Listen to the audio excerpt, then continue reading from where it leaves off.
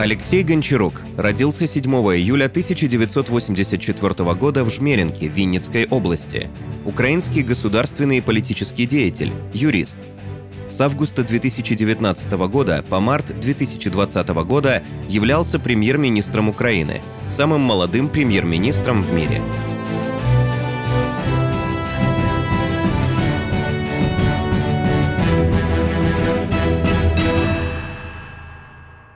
Олексію, доброго дня. Е, я радий, що сьогодні в нас таке велике інтерв'ю. Я знаю, що е, перше таке велике для вас інтерв'ю, і в мене насправді дуже багато запитань. Да, Дмитро, мене мені також дуже приємно, і в мене також є питання, які я хотів би з вами обговорити. Я хотів би, щоб сьогоднішня наша розмова була максимально діалогом, якщо це можливо. Будь ласка, звичайно. Е, ви народилися в Вінницькій області, в Жмеринці, потім жили в Городні Чернігівської області. Е, хто були ваші батьки і що за атмосфера вас оточувала? Це довга дуже історія, тому я думаю, що ми, можливо, будемо окремі частини цієї історії відкривати поступово. Е, я українець, це правда. Мої батьки повністю е, українці, коріння з Вінничини. Є таке село Осіївка в Вінницькій області. Там колись була така козацька церква, козацька е, е, фортеця, називалася Оса. Вони звідти вибігали, е, значить, і боролися з ворогами таким чином, е, і жалили. І тому так називається. Там, там мої коріння. Я дуже люблю ті краї мальовничі, але батьки приїхали е, в Жмеринку, там познайомились. Е, я там народився. Батько військовий, Е, і тому, а ви знаєте, в радянські часи військові вони дуже багато подорожували uh радянським союзом, тому занесло в е, Городню. Там була військова база, аеродром, який а він поступово Да, він льотчик. Е, він навіть був інструктором і служив за кордоном в Іраку в радянські часи. От. І тому ми жили в маленькому військовому містечку на самій півночі е, України на кордоні, фактично з Білорусі з Росією. Тому я такий виховувався на телевізійних каналах е, українському, УТ-1, тоді пам'ятаю, БТ було. Білоруський телеканал, російський телеканал був. У мене була така середовище з трьома мовами, якщо хочете. Ви білоруську мову теж знаєте? Так, да, знаю трошки. Добре знаєте? розумію добре, говорю, звичайно, вже набагато гірше, але в мене багато друзів в Білорусі. Е, до речі, е, я їх називаю сябрами. Це білоруське слово. Я дуже добре розумію, я все абсолютно розумію, що вони говорять. Слідкую за білоруським контекстом. Я вважаю, що це важлива для України держава, важливий народ. У нас дуже спільні проблеми з ними. І тому так, я періодично проглядаю в тому числі їх інформаційні ресурси і білоруську мову я розумію повністю. Нас дивиться зараз дуже багато білорусів. Насправді, чи можете ви їм щось сказати білоруською мовою, щоб їм було приємно? А, Що я можу сказати? Е, шануємося, сябри. Бо ми того варті. Це вже українською. До речі, про мову. Оскільки нас дивиться наш Ютуб канал е, мільйони людей по всьому світі, і багато хто з них не розуміє українську мову. Чи можу я вас попросити це інтерв'ю, щоб ми записали російською мовою як виключення? Давайте спробуємо. Когда вы были юношей, когда вам было 18-20 лет, чем вы хотели заниматься? Вот о чем вы думали? Какие у вас были мечты тогда? С теплотой вспоминаю те времена. Вы знаете, вообще 90-е э, в маленьком городе а, городок, в котором я вырастал, э, там было 15 тысяч населения. Э, и детство фактически прошло э, совершенно иначе, чем сейчас там вырастают детки в Киеве. И это хорошо, это прекрасно. Прекрасно, что прогресс, но те времена для того, чтобы было понятнее, собственно, и Э, нынешнему поколению. Это там ни телефона, ни интернета, ничего у тебя нет. Ты живешь в маленьком городе, для тебя э, значит, поездка в там, областной центр, в Чернигов для нас тогда, э, там раз в три месяца на рынок с э, родителями, это там большой праздник. То есть, потому что ты можешь там рассчитывать на то, что там те деньги, которые ты там накопил, ты сможешь купить, например, мяч, и этим мячом один на всех, всем двором, значит, будешь на стадиончике таком, значит, плохо предназначенном на самом деле для игры в футбол, но, тем не менее, играть со своими сверстниками. Это такое очень, это теплое очень воспоминание, но я очень хорошо понимаю, что и сейчас в маленьких городах, в маленьких селах у детей фактически очень мало возможностей для того, чтобы добиться чего-то в жизни. И эти барьеры, они, к сожалению, существуют и до сегодня. Я прекрасно помню отдельные теплые моменты, когда там, окном внешний мир для тебя может быть э, Э, там какая-то газета на рынке, которую ты покупаешь. Сегодня это уже интернет. Для меня тогда это было два журнала. Я каждую неделю приходил на рынок, и в одном киоске там была такая раскладочка, очень простая. Э, можно было купить журнал «Футбол». Я очень его любил. Он выходил каждую неделю. Я очень его ждал, потому что там была значит, вот эта вот вся аналитика. Это такой э, окно во внешний мир. И э, второй журнал – это, я не помню название, но что про работу, учебу. Вот меня всегда интересовали вот такие вот возможности. Я всегда знал и хотел э, учиться в Киеве. Так и сложилось. Э, я понимал, что э, э Киев, ну, большой город, дает возможности развиваться, расти над собой. Собственно, поэтому вот мои стремления, они были и сосредоточены э, туда. Э, отец, конечно, нам подсказал мне и помог мне выбрать там, какое-то учебное заведение. Я там, откровенно говоря, там не сильно хорошо разбирался в, в том, как все это происходит. И попал в город Киев, значит, вот в этот э, водоворот э, событий, э, э, жил в общежитии, значит, несколько лет. Очень хорошо помню, что такое жить на там, 4-5 гривен в день. В день? В день, конечно. Для студента это совершенно нормальная э, сумма, и э, если ты ее там вот не потратил в день, накопил, что у тебя на следующий день больше чуть-чуть. Поэтому это все вещи хорошо мне понятные. Э, и это, вы знаете, помогает трезво оценивать ситуацию и сейчас в том числе. Потому что многие люди, к сожалению, до сих пор живут в э, таких условиях, э, в такой ситуации. Я очень хорошо понимаю проблемы студентов, хорошо понимаю проблемы ребят, которые в маленьких городах растут и которые на сегодняшний день, к сожалению, проигрывают. Потому что наша постсоветская система, она, к сожалению, приводит к существенному неравенству, к серьезному неравенству. Детки, которые учатся в сельских школах, Э, которые учатся и вырастают в вот этих вот э, условиях, они по исследованиям, которые у нас даже есть, э, объективно проигрывают ребятам и своим сверстникам из городов, потому что меньше возможностей и все. Примерно отстают там на полтора-два года в зависимости от того или иного предмета. Им сложнее пробиться, но это возможно. И это важно понимать в нашей стране в детстве, вот в том своем детстве, в городне Черниговской области, в маленьком городочке, вы могли себе представить, что в 35 лет станете самым молодым премьер-министром в мире? Нет, и не стремился, на самом деле. Э, я хотел стать адвокатом. Вообще с глубокого детства, лет с трех, наверное. Вообще это отдельная история, очень интересная, на мой взгляд. У меня была бабушка, к сожалению, сейчас умерла, я ее очень любил, э, она э, была достаточно таким конфликтным человеком, в том смысле, что она постоянно что-то делила с соседями и постоянно была недовольна качеством правосудия. Потому что суды затягивали годами, все это длилось.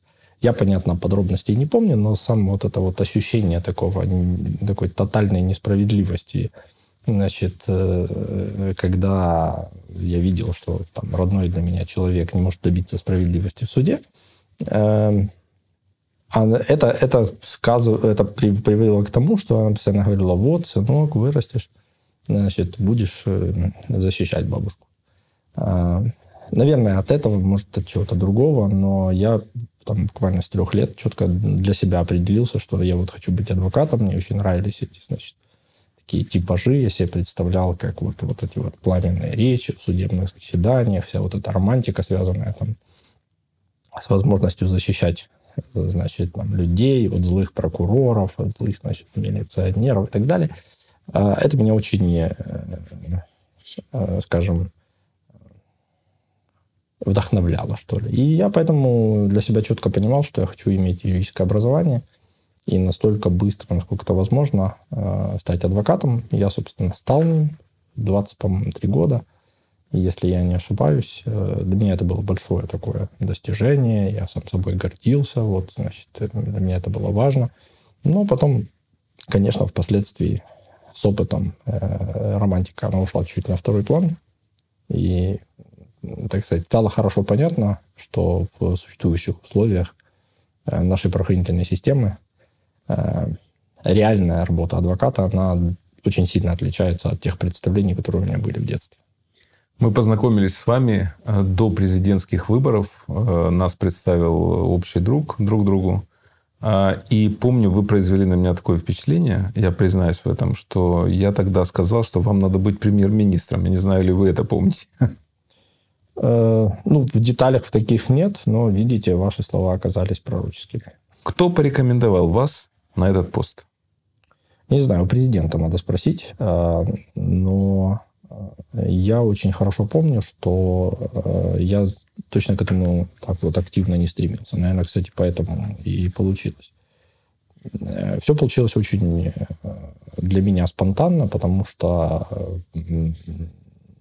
Весной меня пригласили в офис президента отвечать за экономический блок. Я хорошо понимал, что он делать, поэтому согласился. Для меня вообще президентство Зеленского было огромной надеждой, потому что это такой символ, когда новое поколение сменяет старых. Э, очень хорошее, амбициозное. Значит, я э, возлагал огромные надежды на, на так сказать, эти изменения и с радостью согласился помогать э, там, на этом пути этой команде.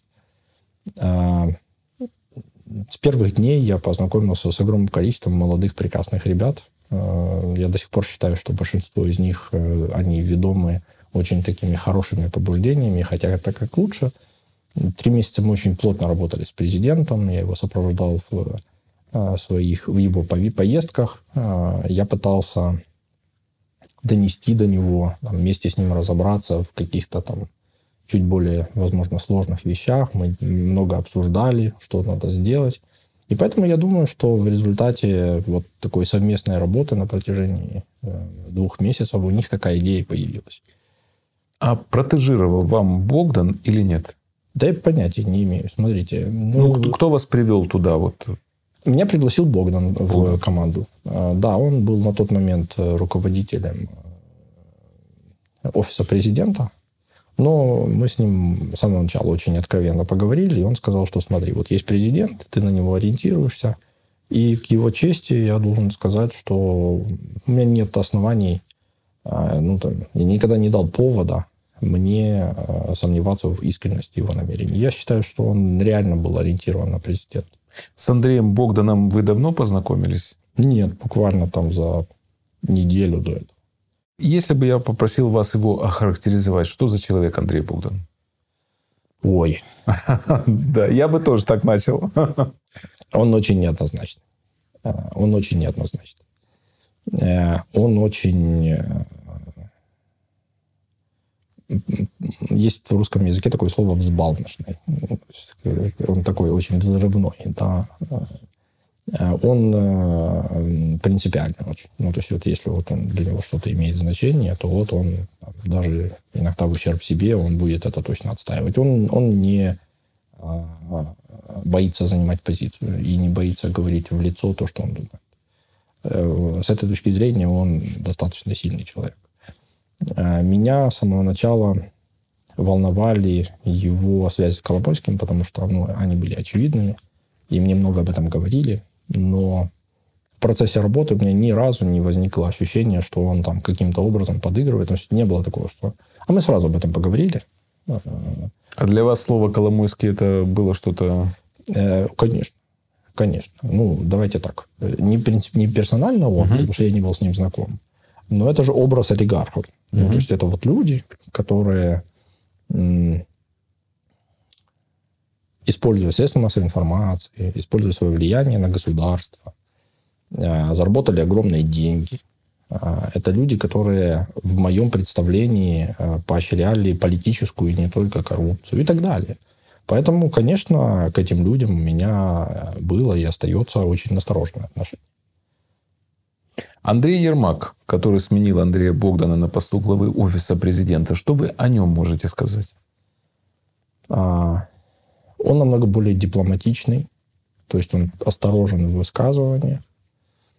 А, он намного э, менее конфликтный, но, как мне кажется, отсюда же и намного менее искренний, намного менее открытый э, человек, в том смысле, что Бог на тебе сразу говорит то, что он думает. Вот. А Ермак, он, мне кажется, он намного аккуратнее тут действует. Э, и тот и другой человек, из того, что я видел, они были э, тесно очень близко общались с президентом. Это точно были люди, которые ориентировались на президента, но влияли на него по-разному. Э, между ними был конфликт. Был конфликт? Конечно. Конечно, был. Ну, вообще сложно назвать человека, у которого с Андреем Йосиповичем а, сложились тесные дружеские, условно говоря, отношения без конфликтов. У меня были конфликты с э, Богданом. Но это ничего личного. Ну, то есть это по каким-то рабочим вопросам. Потому что, конечно, когда что-то не получается, ты можешь злиться друг на друга. Все, но в конце концов всегда это выливалось в конструктивную какую-то работу. А по Андрею Ермаку я с ним работал намного меньше. Поэтому мне намного сложнее его характеризовать. Скорее по тем э, там, действиям, которые э, там сейчас есть. Ну, а как организатор, кто сильнее из них? Я не работал с Андреем Ермаком, э, поэтому мне сложно сравнивать его как с Богданом. Богдан был моим руководителем на протяжении там, трех месяцев, а Андрей Ермак нет. Поэтому это сравнение не было бы корректным. Э, но эм, Богдан намного меньше связывает э, с русскими, чем Ермака, например. Потому что Ермак, он больше ну, там, был он вел переговоры, он больше был ориентирован такой, знаете, на международный контекст. Он то там туда полетит, сюда полетит, значит, там с теми поговорить, с этими. И в этом смысле Богдан больше был ориентирован на внутренний процесс, угу. а Ермак больше на внешний. То есть Ермак, я бы сказал, это больше такой траблшутер. Ну, то есть вот он пытался идентифицировать какую-то проблему э, и его значит, решить э, для президента. Это очень разные люди. Э, я думаю, что есть у них у каждого и позитив, и негатив. Я бы сейчас там, знак плюс, знак минус однозначно не ставил. Хотя, конечно, и у того, и у другого есть значит, э, как бы такие стороны, которые очень настораживают. Настораживают? Ну, вот я поделился с вами э, о том, что, например, я изначально переживал по, по поводу связи Богдана с... Э, ну, а Ермак что может настораживать? А, например, многих настораживает его возможная или недооценка русских в процессе пере, проведения переговоров или там, ну, многие там вообще его агентом называют. Да, я не склонен так считать, если честно. Но э, я думаю, что э, ну, там, какие-то ошибки, э, которые, можно, которые могли бы быть допущены или могут быть допущены сейчас в э, вот этом вот международном э, аспекте, вполне Ермаку могут приписывать. Когда вы стали премьер-министром, вы покатались на самокате по своему кабинету. Было дело. А некоторые сказали, блин, какой класс. Вот живой человек, не функция. Тут еще на самокате в этих мрачных стенах никто не катался из премьер-министром. Некоторые сказали, а что за детский сад вообще? Премьер-министр должен быть премьер-министром. Что это такое? А это вы придумали этот ход? Э, вы знаете, нет, это предложил кто-то из команды, но он мне показался интересным по двум причинам. Первое, я не э, склонен надувать щеки. Знаете, я вот, мне кажется, э, есть такое выражение прекрасное, что все самые большие глупости в мире совершаются с э, таким серьезным лицом, да. Я вот в это очень верю. Ну, то есть недостаточно просто одеть э, костюм, вот, э, так, так сказать, отрастить себе э, там, такие вот щеки, шею э, и сурово выглядеть, и там, смотреть на подчиненных, э, стучать кулаком по столу и там, э, в общем, образ вот этих крепких хозяйственников, Да, которые якобы, э, значит, э, там все могут... И кулаком по столу, если что. да. Абсолютно. Ну, то есть, И в лицо кулаком. И такие были примеры. В общем, образ это важно. Я согласен, что премьер-министр должен э, своим там, видом, моделью поведения не позорить государство, потому что это человек, который представляет государство. И мне кажется, мое поведение было достойным. Вопрос с самокатом – это невинная шутка, а, потому что это, вспомните, было 1 сентября. Это было обращение к деткам. А, Значит, э, когда они пошли в школу. А, Вот. И поэтому для детей э, там самокат понятный э, символ. Плюс ко всему, мне кажется, что вот эта такая немножко самоирония, она тоже человека сильного э, не должна пугать. Абсолютно. Поэтому я отношусь к этому спокойно. То, что нас э, систематически поливали грязью и пытались использовать там каждый какой-то э, повод для этого. Ну, не было бы самоката, был бы, я не знаю, там красный галстук. Не было бы красного галстука, был бы там, не знаю, э, помятый рукав. Но вы, несмотря на то, что такой креативный человек, все-таки кажетесь мне немножко даже старомодным, потому что я не припомню вот в течение долгих лет, кто бы еще из государственных чиновников, тем более такого высокого ранга, носил бы костюмы тройки. Вот э, на вас они очень хорошо сидят. Видно, что вам это нравится, что вы как бы это ваше. И вы ощущаете себя органично в костюмах тройках. Почему костюмы тройки? Вы же современный молодой человек. Вы сами ответили на свой вопрос. Это нравится. Надо быть собой. Э, Вот когда ты пытаешься лепить из себя э, там кого-то другого, э, ты чувствуешь себя дискомфортно, у тебя возникают какие-то проблемы с этим, ты там думаешь о том, как ты вот, как кто-то что-то подумает. Я не 100 долларов, чтобы всем нравится. Смотрите. Вот, вот тут надо спокойно, да. Человек, и еще раз, особенно человек, который занимает высокий пост, должен выглядеть достойно. На мой взгляд, э, тот, Куда уж более то, чем. каким образом э, там я себя вел, э, не бросает тень ни на государство, ни на там, статус государственных органов. За нас точно не было стыдно. А по поводу там, каких-то особенностей там, моего стиля, моих коллег, там можно судить много. Знаете, как говорят, что на каждый товар свой покупатель. Да? То есть на вкус и цвет товарищей нет. Поэтому я абсолютно спокойно ко всему отно- отношусь. Более того, я считаю, что э, государственная служба – это штука достаточно консервативная. И поэтому отдельные элементы консерватизма в нашем вот этом потоке креатива, они не помешают. Ну, вы знаете, что за любовь к такой одежде вас прозвали за глаза жилетка. Слушайте, это далеко не самое плохое. Просто- А еще было что-то? Слушайте, мне там рассказывали о том, что э, там, нам приписывали вот эти вот какие-то эти ярлыки, там, соросята, вот, и все остальное. Смотрите. Вы не соросенок, кстати, скажите сразу. А вы мне скажите, что такое соросенок? Во. Это очень интересно. Знаете, вот мне так интересно. Э, э, Мы можем пошутить, но на самом деле это глубокая и серьезная тема. Потому что я-то товарища Сороса в жизни не видел. Но я не считаю, что он что-то плохое сделал для нашего государства. Я считаю, что намного большее зло для государства. Это негодяи, которые его разворовывали десятками лет. А, И, а это же очень понятные приемы. Ну, то есть вы- выдумай врага. Мгм. Кого? И пугай. Сорос какой-то. Какой-то дядя сидит, в, э, извините, за океаном. А, значит, а ему приписали, он, может, он, он и доли там десятой... э, там, Он уже в возрасте, этого- в конце если бы он концов. знал, знаете, если бы Сорос знал, насколько он влиятельный в Украине, я думаю, он бы э, там сильно удивился. Это технология, которая появилась примерно прошлой весной. Э, Технология русских. У нас есть даже под это ну, определенные исследования, потому что разгоняли этот нарратив э, э, про русские, про кремлевские СМИ. в Украине, подхватывали, значит, пророссийские провокаторы. Зачем? Очень просто для того, чтобы дискредитировать людей, которые имеют некий прозападный э, способ мышления. А это не про, там, условно, я не знаю, кому подчиняться, Москве, sorry, или Вашингтону. Украина независимое государство. Это о том, какой, sorry, mindset, да, то есть о том, какое мировоззрение у людей mm-hmm. есть.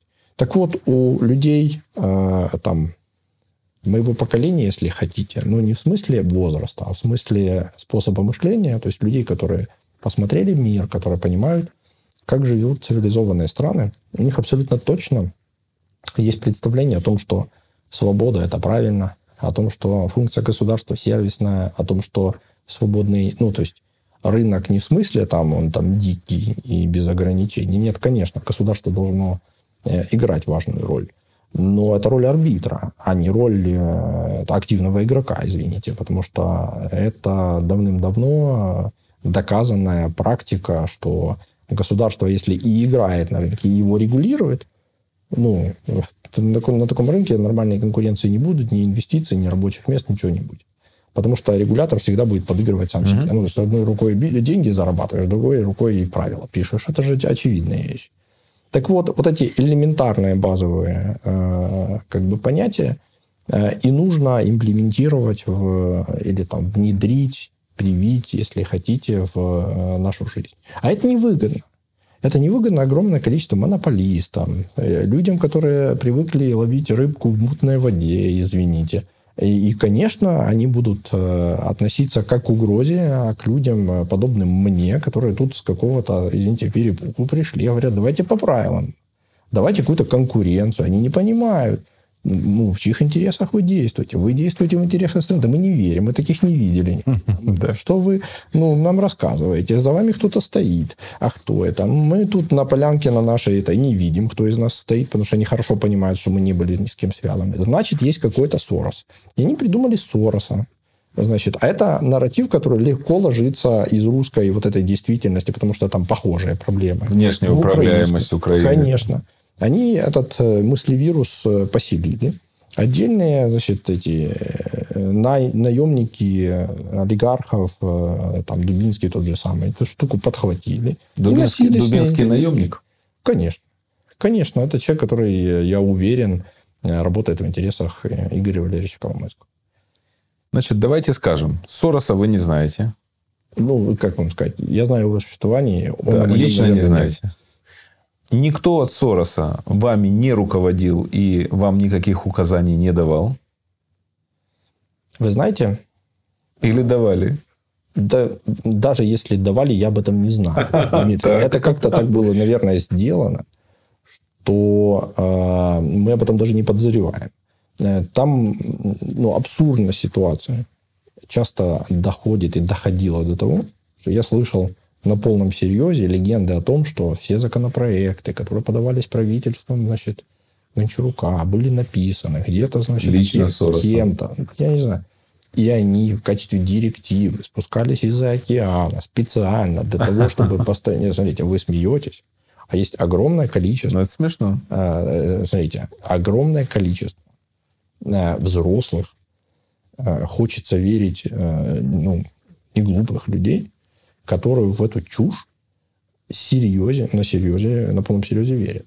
И то, что это сказка про некое, некое там вот это вот такое западное чудище, которое а, является злом главным для Украины, и она существует просто для того, чтобы отвлечь внимание от реальных проблем и реальных э, там, негодяев, которые э, занимались тут коррупцией и разваливали страну, это никого не интересует. Ну, то есть, вот найти пугалку внешнюю, и она якобы, э, значит, объяснит все проблемы. То есть, подытожим, вы не соросенок?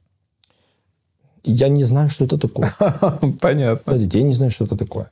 Телеграм-каналы, э, этот самый, в интересах олигархов пишут, э, что что угодно пишут. Там, парохобот, соросенок, значит, еще какие-то обидные там вещи. Там фейковые переписки какие-то были. Количество грязи, которое было вылито на меня лично, на членов моего кабинета, оно э, там измеряется, я не знаю, гигабайтами информации фейковой.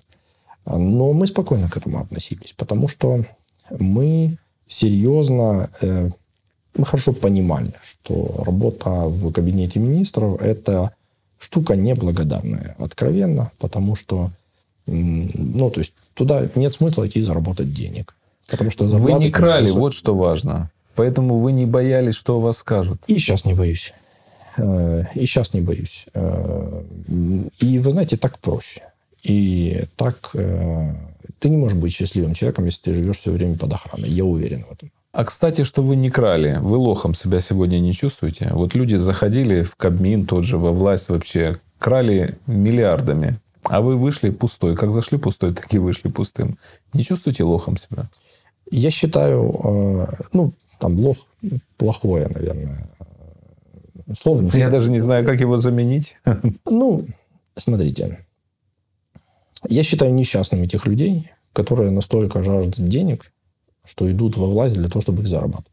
Вот это вот мне... Так в основном так и идут в Украине? И это очень грустно. Вот я не считаю их лохами, я считаю их негодяями. Угу. Но, э, но, но ну, это беда огромная, что у людей такое представление о возможности заработать денег. Потому что сегодня в Украине, слава богу, а, есть достаточно большое количество а, способов у образованного, а, неглупого человека заработать денег. В Киеве так точно. И это не говорит о том, что с работой все хорошо. Нет, нам не хватает рабочих мест. И это огромная проблема. Я думаю, дальше мы, возможно, об, этом поговорим. Но то, что сегодня э, там, умный, образованный человек может себя реализовать в Украине, я совершенно в этом не сомневаюсь. А, и убивать жизнь, репутацию, влазить в какие-то коррупционные схемы, для того, чтобы потом всю жизнь жить, э, извините, там, под давлением э, каких-то уголовных дел, предъяв, с охраной, извините. Я на следующий день, вот я вышел из кабинета министров, и следующий день написал заявление, говорю, смотрите, мне нужна охрана. Вы отказались от охраны? А зачем она мне нужна? Ну, зачем она мне нужна? Ну, смотрите, были у нас замечательные охраняемые лица, да, там Виктор Федорович Янукович, дайте вспомним, да? Товарища окружала охрана, там автобусы охраны. Не в него попало яйцо, чувак этот, э, так сказать, потух, да. Это мне жалко таких людей. Это люди, которые каждый день боятся за то, что их э, пристрелят конкуренты, люди, которых кинули, люди, которых они отжали. Ну, зачем это все? Слушайте, потрясающе. Вы до недавнего времени премьер-министр, ходите по улицам без охраны и живете без охраны. Да, и ходил, и буду ходить. Это первый прецедент, по-моему, не да? Знаю. Не знаю, но мне точно это не надо. Эм, я... Вообще, жизнь э, премьер-министра – это э, то еще удовольствие, я вам скажу. То есть, это вот утром э, тебя там в 6 утра условно да, забирают из дверей квартиры, люди вооруженные, там все вокруг там напуганные, потому что это много людей, там какая-то оцепленная территория, ну, то есть там а, тебя закрывают в машину бронированную, привозят тебя на работу, попускают тебя в кабинет, как в аквариум, и ты там в этом кабинете плаваешь. И кто кем руководит? Есть некая, ну, еще раз, если э, честно, то это не про свободу. Ну, то есть угу. в Украине, к сожалению, работать на таком высоком посту это э, э, ну, удовольствия мало, я вам скажу, откровенно. Э, потому что есть большая ответственность. А есть удовольствие получаешь от э, результатов. Вот когда что-то получилось, действительно кайф. То есть ты понимаешь, что вот, смотрите, мы там для какой-то части населения, для какой-то части людей – для кого-то сделали что-то хорошее. От этого кайфуешь. И это драйвит, это дает силы, это придает силы. Но вот на бытовом уровне это ужас. Потому что ты жизни не видишь. У тебя ничего в жизни нет. У тебя есть только... Ну, я и раньше много работал, но когда я начал э, работать на позиции премьер-министра, я понял, что раньше вообще не работал. То есть это работа 24 на 7, постоянно со стрессами, потому что каждое утро у тебя начинается с смс о том, что где-то кто-то не поднимается из шахт, потому что где-то там с кем-то не рассчитались по зарплате, где-то что-то прорвало, какой-то пожар, кого-то там, не дай бог, э, там сбили на автомобиле, где-то кто-то протестует. А страна находится в достаточно тяжелом, э, а, откровенно состоянии. И поэтому э, утро премьер-министра – это всегда утро, которое начинается с каких-то плохих новостей. И очень часто твой распорядок дня, он просто оказывается скомканным, потому что нужно предпринимать какие-то там особые там меры. Знаете, вот иногда бывает, тебе говорят, вот смотри, там, сегодня утром произошло X, если там ничего не, не, не сделать и не исправить, то через два дня два населенных пункта будет без света. И ты себе представляешь этих людей, которые сидят без света. А я хорошо это, кстати, представляю, потому что в 90-х... Сам сидел сколько? Кстати, да, это нормальная история с бабушкой, значит, при свечечке, пару часов, когда верное отключение. Все это хорошо помню. А, так вот, и я представляю, что вот в 21 веке украинец каком-то населенном пункте какая-то семья опять вынуждена будет э, там сидеть без света. Я не могу это допустить. Поэтому ты, значит, пытаешься что-то с этим сделать. Ну, вот как-то так. Когда вы стали премьер-министром, прошло чуть-чуть времени, и состоялся форум ЕС, который ежегодно проходит в Киеве. Вы презентовали свою программу, выступали, собралось много людей, и мы пришли с Андреем Николаевичем Миларионовым, э, который был пять с половиной лет советником президента России Путина по экономике, а, представителем России в Большой Восьмерке, потом в знак несогласия с политикой Путина ушел и уехал в Соединенные Штаты Америки, находится сейчас там. Я слушал ваше выступление, на меня оно действовало завораживающе. Вы очень интересно говорили, очень насыщенно. А, открывались фантастические для Украины перспективы. У меня глаза расширились, у меня Настроение поднялось, вы закончили говорить. Я обернулся к Андрею Николаевичу, говорю, ну как впечатление? Он повернулся ко мне и сказал одно слово – удручающе. После чего мне в интервью он сказал, я процитирую, «У вас есть ядерное оружие по разрушению экономического потенциала агрессора. Если вам удастся забросить Гончарука в российское руководство, в обозримой перспективе экономические потенциалы России и Украины сравняются. Что вы думаете о реакции Андрея Николаевича? Я думаю, что он очень креативный. А, и буду счастлив с ним познакомиться для того, чтобы обсудить, э, так сказать, вот эти вот там его планы чуть более э, детально. Потому что по заброске асимметричные ответы Российской Федерации меня всегда интересовали. Я считаю, что асимметричные ответы в войне – это то, что нужно сейчас для Российской Федерации. Если серьезно, то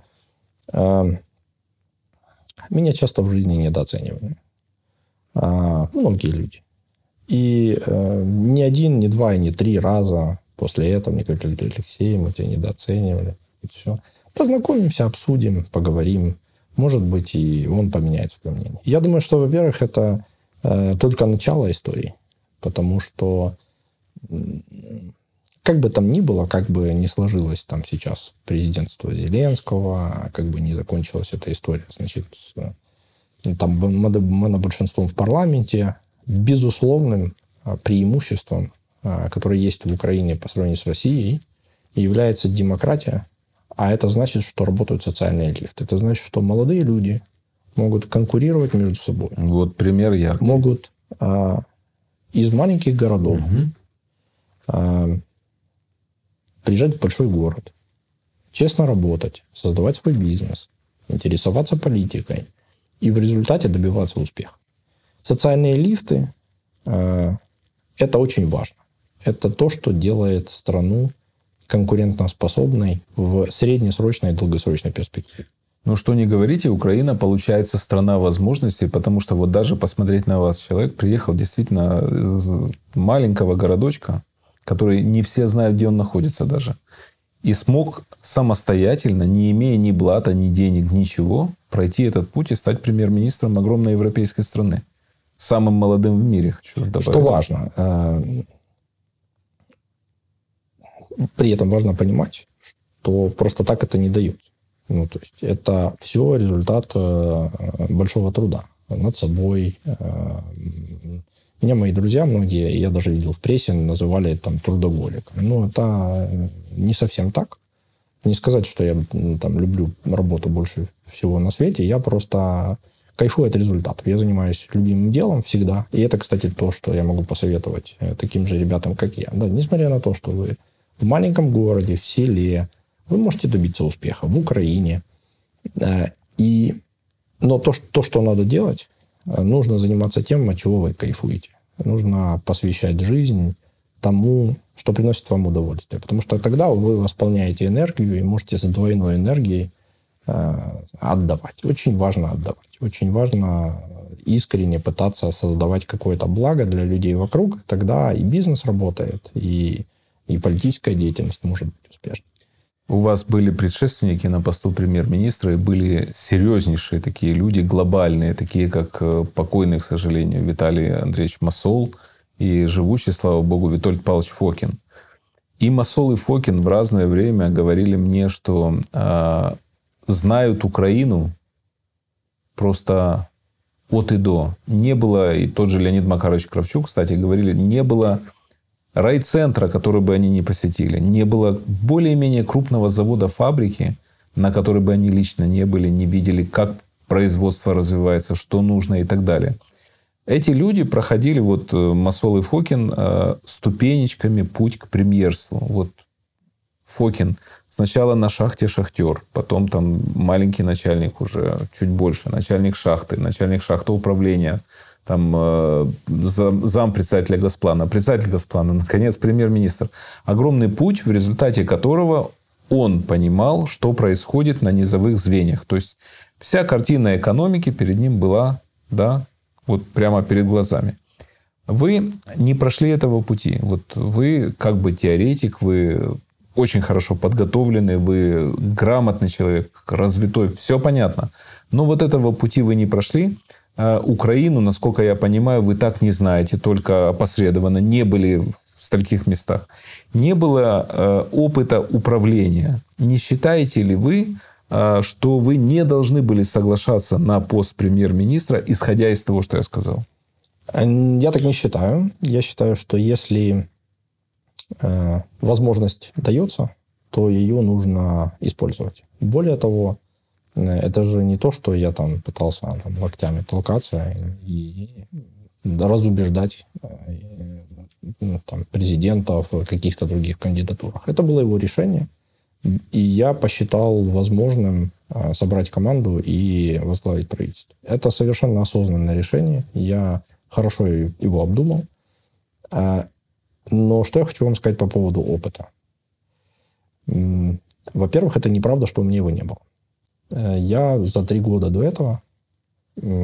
Вообще, на самом деле, история чуть раньше началась, потому что всю э, страну мы проехали еще до Майдана, когда мы четко понимали для себя, что э, Янукович, независимо от того, выиграет он выиграет или проиграет, он через Центральную избирательную комиссию объявит себя президентом, и нам придется что-то этому противопоставить. Я на тот момент для себя уже очень четко решил, что власть Януковича для Украины это огромное зло. И поэтому я уже тогда, еще обучаясь э, в Национальной академии госуправления э, по специальности госуправления, то есть я, собственно, на это учился, я этим интересовался последние 10 лет, э, ну, примерно там 9, как-то так. Я уже видел, что в какой-то момент придется взять на себя ответственность. Тогда мы понимали, что важно не допустить Януковича. Тогда мы проехали вдоль и в поперек всю территорию Украины. Я не был во всех районных центрах, но я был более чем в 100 разных городах Украины. Mm-hmm. Все прекрасно понимают, что собой является э, наша страна. Наверное, не до деталей. Я не знаю, не хочу себя ни с кем сравнивать. Да? Наверное, опыт у каждого разный. Кто-то на шахте начинал, кто-то в юридическом бизнесе. Э, но то, что э, там такого представления не было, это неправда. Потом, после Майдана, я э, поработал э, советником в Министерстве э, экологии и природных ресурсов. Я понял, как работает э, индустрия э, недропользования. В том смысле разобрался о том, э, какие коррупционные, в том числе, проблемы э, там есть. После этого э, меня пригласили в команду министра экономики Я возглавил там самый большой аналитический центр, который помогал правительству на протяжении трех лет анализировать все сферы вдоль и поперек. Mm-hmm. И э, поэтому вот эту вот проблематику достаточно широко я видел. Более того, я вам скажу, что премьер-министр это же скорее менеджер. То есть мне не надо одинаково хорошо разбираться, извините, в шахте, в образовании, в экологии Конечно. и во всем остальном. Это совершенно бессмысленно. И поэтому у каждого какой-то одна такой... Э, если, если у тебя есть какой-то однобокий опыт, например, там, через шахту, вот если ты прошел так, шахтер, там, директор шахт управления и так далее и тому подобное, ты прекрасно знаешь эту сферу. Но ты можешь ничего не, не понимать, например, там, в той же самой культурной сфере, да, и там совершать какие-то ошибки. Я хорошо понимаю, как работают системы и, как, и в чем дефект э, украинских систем э, управления. И поэтому это по позволило мне собрать, как мне кажется, а я уверен в этом, очень сильную команду э, министров. У меня на каждой позиции был человек, который хорошо понимал, что делать, и хорошо понимал, как это делать. Другое дело, что, э, конечно, это, наверное, одна из самых тяжелых вообще задач, которую можно себе представить. Э, это заниматься реформой. Потому что реформа – это только такое красивое слово. Да? А на самом деле это про жизни людей. Это когда ты приходишь, например, там, не знаю, в сферу медицины, а там десятилетиями сложились угу. какие-то практики. Вот привыкли к чему-то там. Ты смотришь на систему, она не работает. Потому что э, цифры тебе ясно показывают, что там, можно по-разному относиться к системе э, здравоохранения Украины, но хочешь не хочешь, а 160 тысяч человек в год Украина теряет просто потому, что система работает неэффективно. Просто потому, что э, просто потому, что там, людей не довозят до э, больниц. Mm-hmm. Как моего отца, кстати. Потому что у меня отец в 2003 году он погиб в ДТП. И э, система медицинская его не спасла. Ну, то есть вот, его, наверное, можно было довести до больницы, там, спасти, но вот нет. И поэтому я очень хорошо понимаю, что чувствуют там э, тысячи людей по всей стране, которые попадают в аналогичные ситуации. Я хотел бы, чтобы скорая помощь работала э, лучше. И поэтому, кстати, это было одним из наших приоритетов, и я много внимания этому лично уделял. А сквозь вот такие личные примеры я понимал, что именно важно делать приоритетом, ну, то есть на чем надо фокусироваться. Но на каждой позиции, в каждом министерстве у нас работали люди, которые хорошо понимали до деталей именно конкретно эту сферу. У нас было чуть больше 70, что-то около 80 замминистров. Что такое замминистр? Это человек, который в министерстве понимает узко конкретную тему, да. конкретную проблему. Это ключевой, на мой взгляд, вообще элемент в системе государственного управления, потому что и премьер-министр это больше менеджер такой, и скажем, стратегический. Тоже.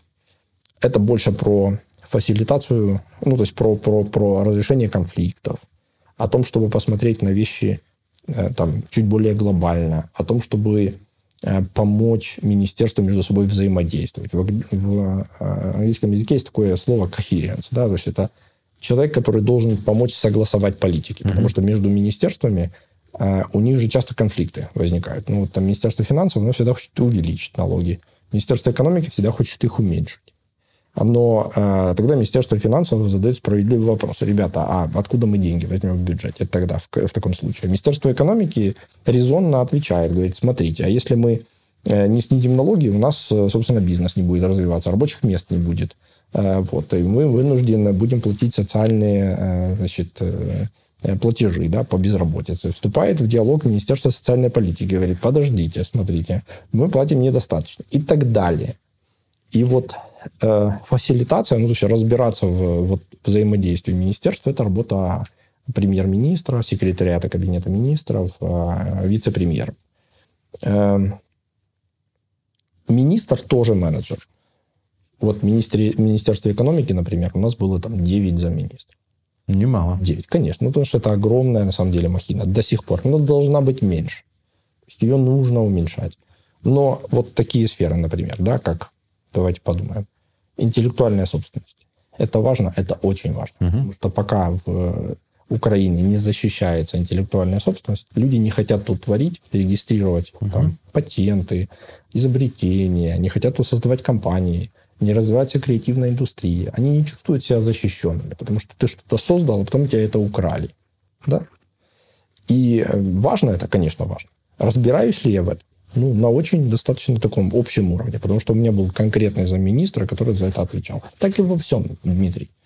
Ты не можешь разбираться во всем. Это невозможно. И но это не можешь, нужно. Но ты можешь понимать... Э, когда-то один мой преподаватель, у меня, кстати, было несколько людей, на которых я, на которых я считаю учителями своими, на которых я ориентируюсь. А он мне сказал, говорит, Алексей, ты понимаешь, говорит, главное понимать физику явлений. Ну, то есть, когда ты понимаешь суть, угу. а детали, они отходят на другой план. Ну, то есть, мне не надо понимать, какое количество там шахтеров до количества, до единиц есть в стране, как работает как каждая конкретная смена и так далее. Есть, эти более глубокие знания должны быть у специалистов, которые работают а, на там, более низких уровнях. Поэтому и ваш тезис по поводу отсутствия опыта, это не совсем так. И тезис по поводу того, что нужно разбираться глубоко, там, не знаю, знать, там, где каждый двор, да, там, каждое дерево, где растет. Э, это тоже, это, ну, это хорошо. Ну, то есть, лучше знать, чем не знать. Но это совершенно не необходимо. Ну, это, в этом нет необходимости. У меня нет необходимости знать поименно, э, так сказать, извините, всех э, там сотрудников э, э, там министерства для того, чтобы хорошо понимать, чем оно занимается. Э, на злополучных пленках э, из вашего кабинета, прослушки из вашего кабинета, вы назвали себя профаном в экономике. Вы профан в экономике? Нет, конечно. Это фигура речи. И более того, фраза вырвана из контекста. Э, умные люди, когда там, общаются в рабочей атмосфере, часто позволяют себе такие фигуры речи, потому что они таким образом хотят подчеркнуть иногда уважение или там уважение к уровню собеседника. На тот момент в комнате находились лучшие, на мой взгляд, экономисты страны. Поэтому по сравнению с ними я намного, конечно, ну, мельче э, и меньше в материале, меньше разбираюсь в там, макроэкономических процессах. Но тот уровень э, понимания экономики, который был необходим для того, чтобы руководить правительством, у меня, безусловно, был. Вы уже знаете, кто прослушивал тогда ваш кабинет? Нет, не знаю. Вам это интересно? Конечно. И как гражданину, и как премьер-министром скажу больше. Я считаю, что э, вообще весь этот хаос с прослушками... Это ужас вообще. Это, э, ну, это, кроме того, что это там э, создает э, недоверие к правоохранительным органам, это четко показывает э, огромному количеству негодяев в стране, что так можно. Угу что можно прослушивать человека, а потом его шантажировать чем-то. Ну, то есть у нас... Я считаю, что ни один украинец не может чувствовать себя в безопасности. Если президентов прослушивают. Пока не наведут порядок с этой системой и демонстративно не э, накажут негодяев, которые этим занимаются. Я уже молчу о том, что это э, преступление, безусловно, потому что диалог премьер-министра с главой Национального банка всегда содержит инсайдерскую информацию. Что это значит? Это значит, что эта информация может быть использована для того, чтобы завтра заработать денег.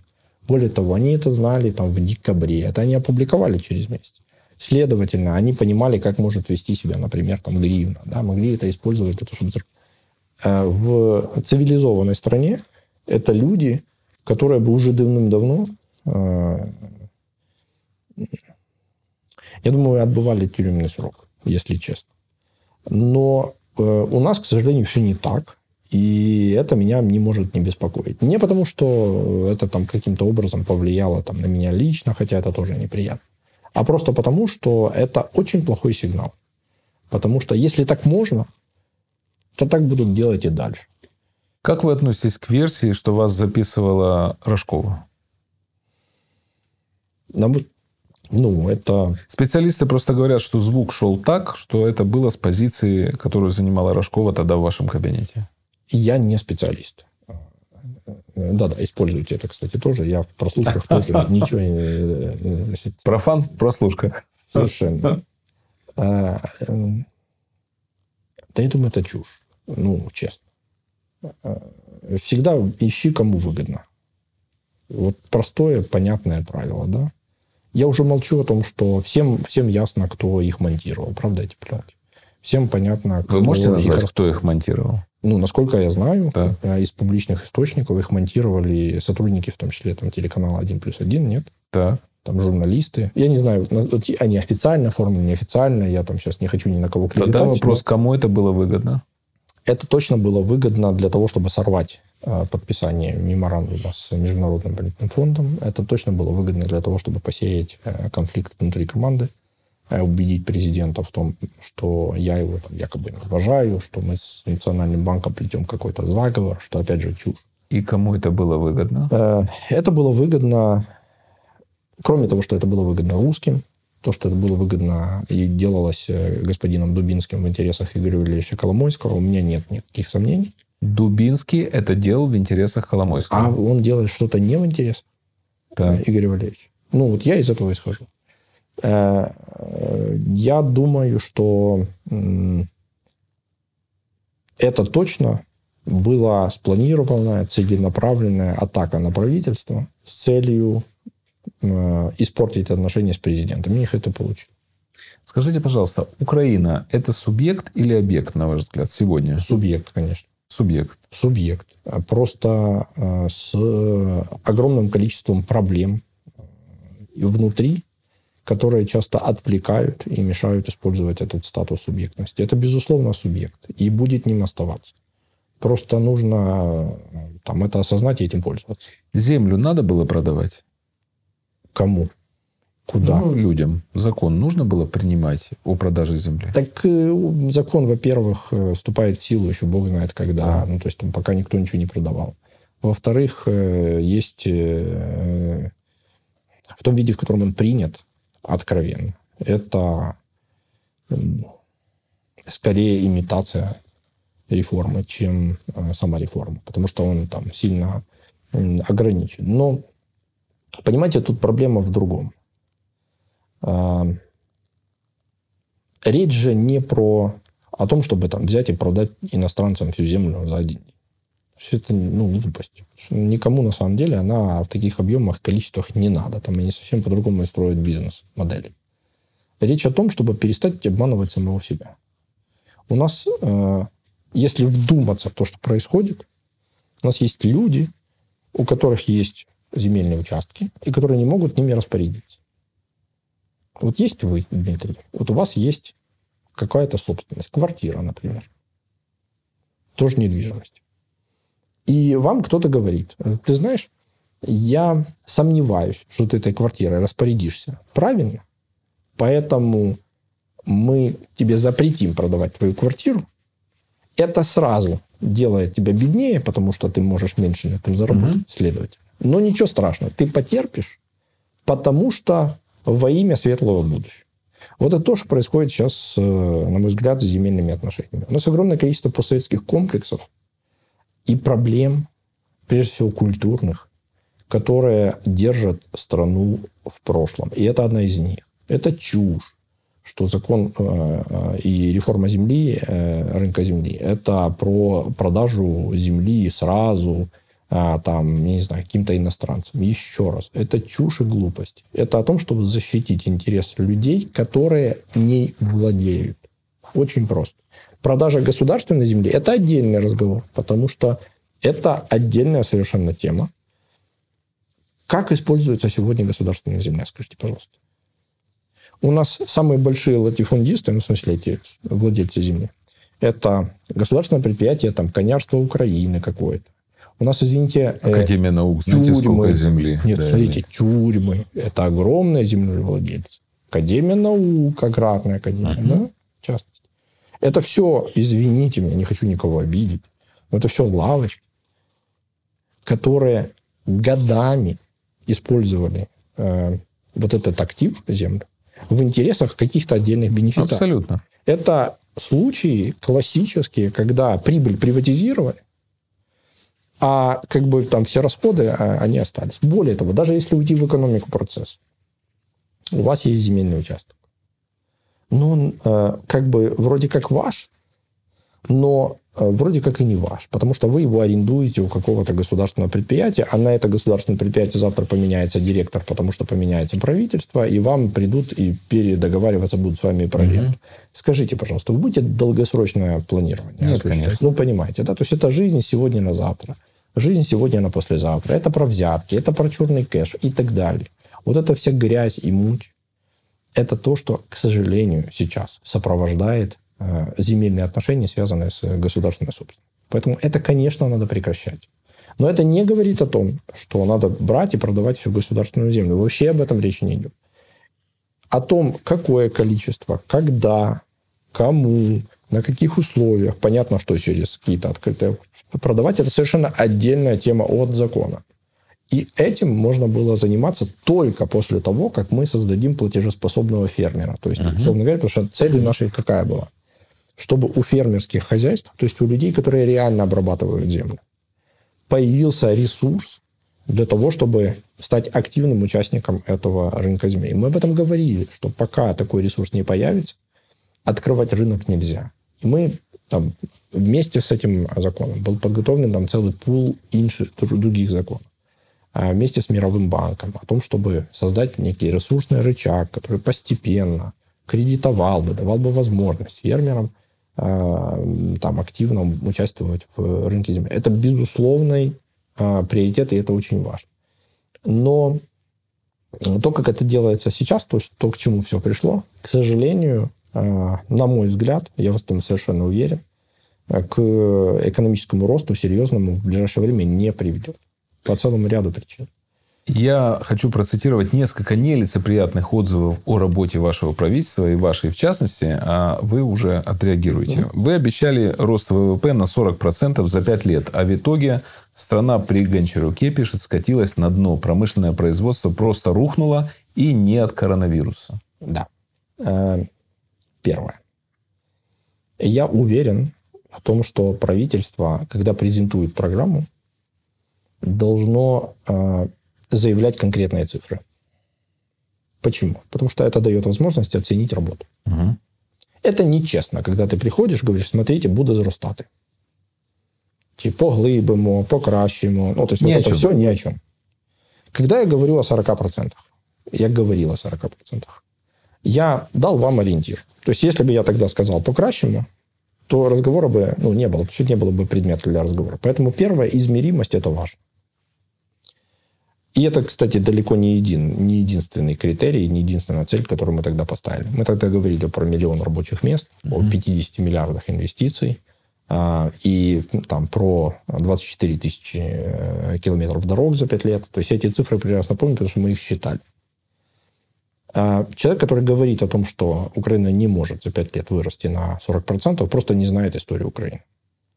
У нас были периоды в нулевых, когда Украина росла темпами и большими, на самом деле. Леонид Данилович оставил Украину. Сколько рост был 2004 год? 11,5 или 12,5? Смотрите, были периоды, там было 4 по подряд года, когда рост был значительно большими темпами. Что такое 40%?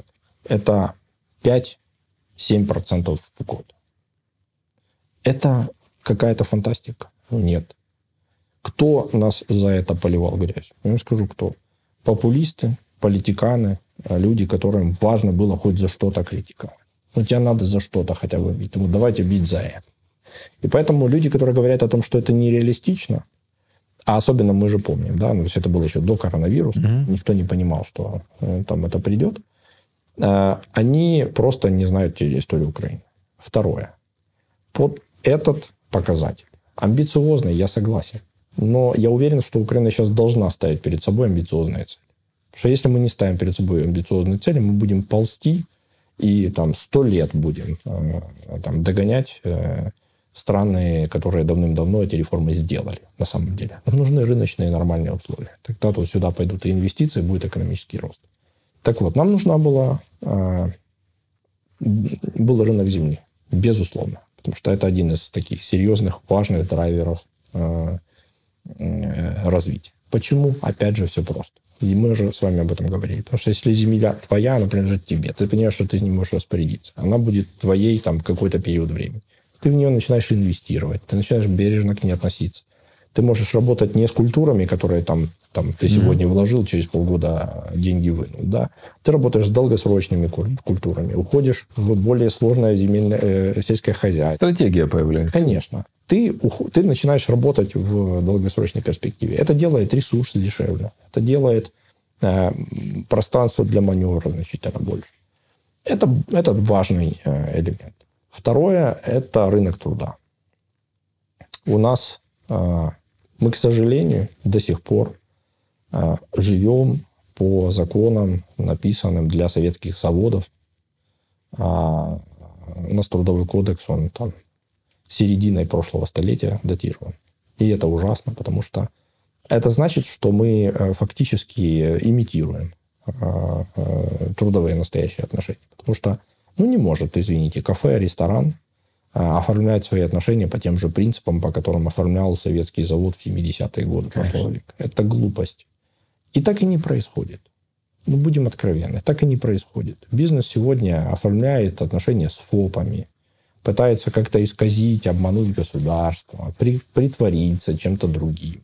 У нас огромное количество бизнеса. Это не компании, где есть а, там понятный директор, понятная ответственность, люди официально оформлены. Это стайки ФОПов, угу. на которых оформлено, что попало. К ответственности ты таких людей не привлечешь. Кредит в банке они взять не могут. Все почему? Потому что у нас неадекватное совершенно регулирование примитивных элементарных. И двойные, тройные стандарты. Конечно. И уходить от этого нужно настолько быстро, насколько возможно. Поэтому вот этот вот абсолютно трэшевый трудовой кодекс, абсолютно трэшевый жилищный кодекс, где э, написаны там правила, по которым сегодня уже не живут. Ну, то есть это фейк. Этого нет. А они все еще существуют. К чему это приводит? Приводит к тому, что чиновник приходит и говорит, смотри, написано, написано, выполняй. Он говорит, ну это же бред, ты же не понимаешь? Он говорит, ну извини, ну такой закон. Поэтому э, вот законы в этом смысле надо привести просто к некому здравому Э, к здравому знаменателю, к здравому смыслу. Пока это не произойдет, у нас чиновник будет э, там заниматься ерундой, э, ходить и там что-то из кого-то выбивать. Это второе, вторая составляющая. Кто считает, что это незначительно, я вас разочарую, господа, потому что на самом деле из-за того, что у нас такие корявые трудовые отношения, мы там дополнительно имеем 2-3% безработицы. Почему? Потому что людей просто боятся оформлять на работу. Вот есть бизнес, что боится оформлять, брать людей на работу. Почему? Потому что там потом куча проблем, головной боли. В случае чего ты там человека не можешь нормально принять работу, уволить. А, а это совершенно необходимо в существующих рыночных условиях. Еще из нападок на вас. Игорь Гончарука с Нацбанка. Я не закончил. Ага. Смотрите, так. он там же про промышленность. Ну, мы же э, хотим разобраться, правда? Так. Эм, а то так получается, что я вроде как там рассказал о планах, а там суть не прокомментировал. Так вот, первое. Планы абсолютно реалистичные. И я готов э, под ними был бы подписаться и сейчас. Второе. Ну, просто для этого надо настоящие вещи угу. делать. Да, там, правоохранителей из бизнеса поотгонять, там, валютное регули... регулирование э, либерализировать для того, чтобы люди свободно могли капиталом э, э, орудовать, фондовый рынок создать. Ну, то есть есть понятный, сложный, непростой, но план работы, который позволит нам превратиться там, за пять лет в цивилизованность. Угу. Это возможно. Э, в том смысле мы и сейчас цивилизованные. Просто, к сожалению, у нас огромное количество архаичных механизмов и практик, которые э, нас э, там, держат в прошлом, глубоко причем в прошлом. И это проблема, которую необходимо решать максимально быстро. По поводу промышленности. Это правда, что статистика по промышленности осенью и там, в четвертом квартале прошлого года, она действительно была э, отрицательной. Но давайте разберемся. Во-первых, экономика, она всегда, ну, это всегда баланс. Что-то растет, что-то э, падает. Есть куча факторов сезонных, да, несезонных. Мы очень зависимая, мы очень маленькая, на самом деле, экономика, нам 0,3% от мирового ВВП. Ну, ничтожная, к сожалению часть. Мы очень открытая экономика, в том смысле, что мы очень зависимы от внешних рынков. Ну, то есть, Если у нас там плохая ситуация на внешних рынках, что это значит? Значит, что низкие цены на товары, которые мы продаем. Да? Если так, у нас проблема сразу начинается. Компенсировать это нечем. Начинается кризис. Мы очень зависимы от этого. Мы очень зависимы от импорта. Потому что есть много товаров, которые мы импортируем. И, кстати, это проблема национальной безопасности части. Потому что там по таким вещам, как бензин, например, ну там топливо, мы очень зависимы от России. И все это время продолжаем быть зависимы, никто с этим, к сожалению, ничего не делает. Но э, сейчас о другом. Так вот, будучи маленькой открытой экономикой, зависимой от внешней конъюнктуры, с колоссальной э, изношенностью основных средств. Что это такое? Это значит, что на наших предприятиях все настолько уже прохудилось, что производить что-то и конкурировать с нашими западными партнерами нашим предприятиям все сложнее и сложнее. У нас уровень износа, что там чуть больше 60% основных компаний. Э, для сравнения, этот показатель, там, если не ошибаюсь, в Словакии, там, не знаю, 30 плюс-минус. То есть это очень много. И это то, что тянет нас назад, это то, что делает нашу промышленность неконкурентоспособной. То есть старые заводы не могут конкурировать с новыми по качеству, по цене и mm-hmm. так далее. Это проблема, которая возникла не вчера, не при Зеленском, не при Гончаруке. Вот. И э, очевидно, что эта проблема, она будет давать э, свои плоды. Что произошло осенью? Все очень просто. Война Трампа с Китаем, она обрушила цены на определенном э, наборе рынков в мире. Почему? Потому что, ну, скажем, ряд контрактов поломались, я очень простым языком пытаюсь э, объяснить. Спрос на какую-то продукцию упал, следовательно, и цена как бы э, э, тоже. И это привело к тому, что у нашей промышленности было меньше возможностей продать выгодно свою э, продукцию. Это первый фактор. Второй фактор. Действительно, Национальный банк о котором вы уже упомянули, он э, до сих пор проводил достаточно жестко, жесткую монетарную политику. Что это значит? Это значит, что Национальный банк очень осторожно относился к, э, так сказать, к экономике в том смысле, что они хотели э, добиться минимальной инфляции. Что такое инфляция? Инфляция – это когда деньги обесцениваются. Опять же, примитивным, очень простым да. языком. Да? Вот когда э, инфляция высокая, это значит, что люди теряют деньги. Да? Условно. У всех экономических процессов есть плюсы и минусы. У всех экономических процессов есть а, там, люди или там, стороны, которые выигрывают, есть, которые проигрывают. Но от политики Национального банка зависит в том числе курс гривны. Да? От того, как они себя ведут на э, валютном рынке. И они вели себя достаточно консервативно, держали достаточно высокую стоимость денег. Это называется ставка рефинансирования Национального банка. Это деньги, это стоимость ресурсов, которые Национальный банк дает банкам. Угу. Банки, как следствие, этот ресурс могут потом использовать. Так вот, Национальный банк держал достаточно высоким стоимость ресурсов, за что его критикуют. И Национальный банк а, там позволил гривне укрепляться. Это то, что сейчас ему э, закидают. Э, это привело к тому, что гривна укреплялась, и это создало кому-то плюсы. Например, там э, рядовой гражданин, он там на свою заработанную гривну мог купить больше долларов. То есть, условно говоря, он там, если он копил на отпуск, он мог купить там немножко больше денег собрать и поехать. Вот. А экспортеры? А экспортеры, да, люди, которые зависят от э, экспорта продукции и которых, безусловно, важно э, поддерживать. Э, они проиграли от этого. Кто-то выигрывает, кто-то проигрывает. И эта ситуация с вот этой вот промышленностью, угу. она эту ситуацию и описывает. Что да, в какой короткий промежуток времени у промышленности были проблемы. Но не у всей строительство росло, причем росло даже да, достаточно да. серьезно. Вот. Мы говорим о достаточно узком сегменте э, экспортеров, которые а, именно этот период ощутили существенные проблемы. Была ли эта проблема, а, скажем, результатом нашей работы? Конечно, нет. Потому что это результат многих факторов. Мировой конъюнктуры. Мировой конъюнктуры, того, что они изношены, того, что, я вам скажу, э, там совершенно откровенно э, про Национальный банк мы поговорим э, там отдельно, Но фактор там, постоянного укрепления гривны тоже там, угу. э, конкретно в этом случае сыграл э, в минус. Поэтому, э, но, но есть другие показатели, которые нельзя не замечать. Именно в этот период, э, четвертый квартал прошлого года, э, мы видели по статистике, что бизнес начал инвестировать в основные фонды. Что это значит? Это значит, что они начали вкладывать деньги в модернизацию.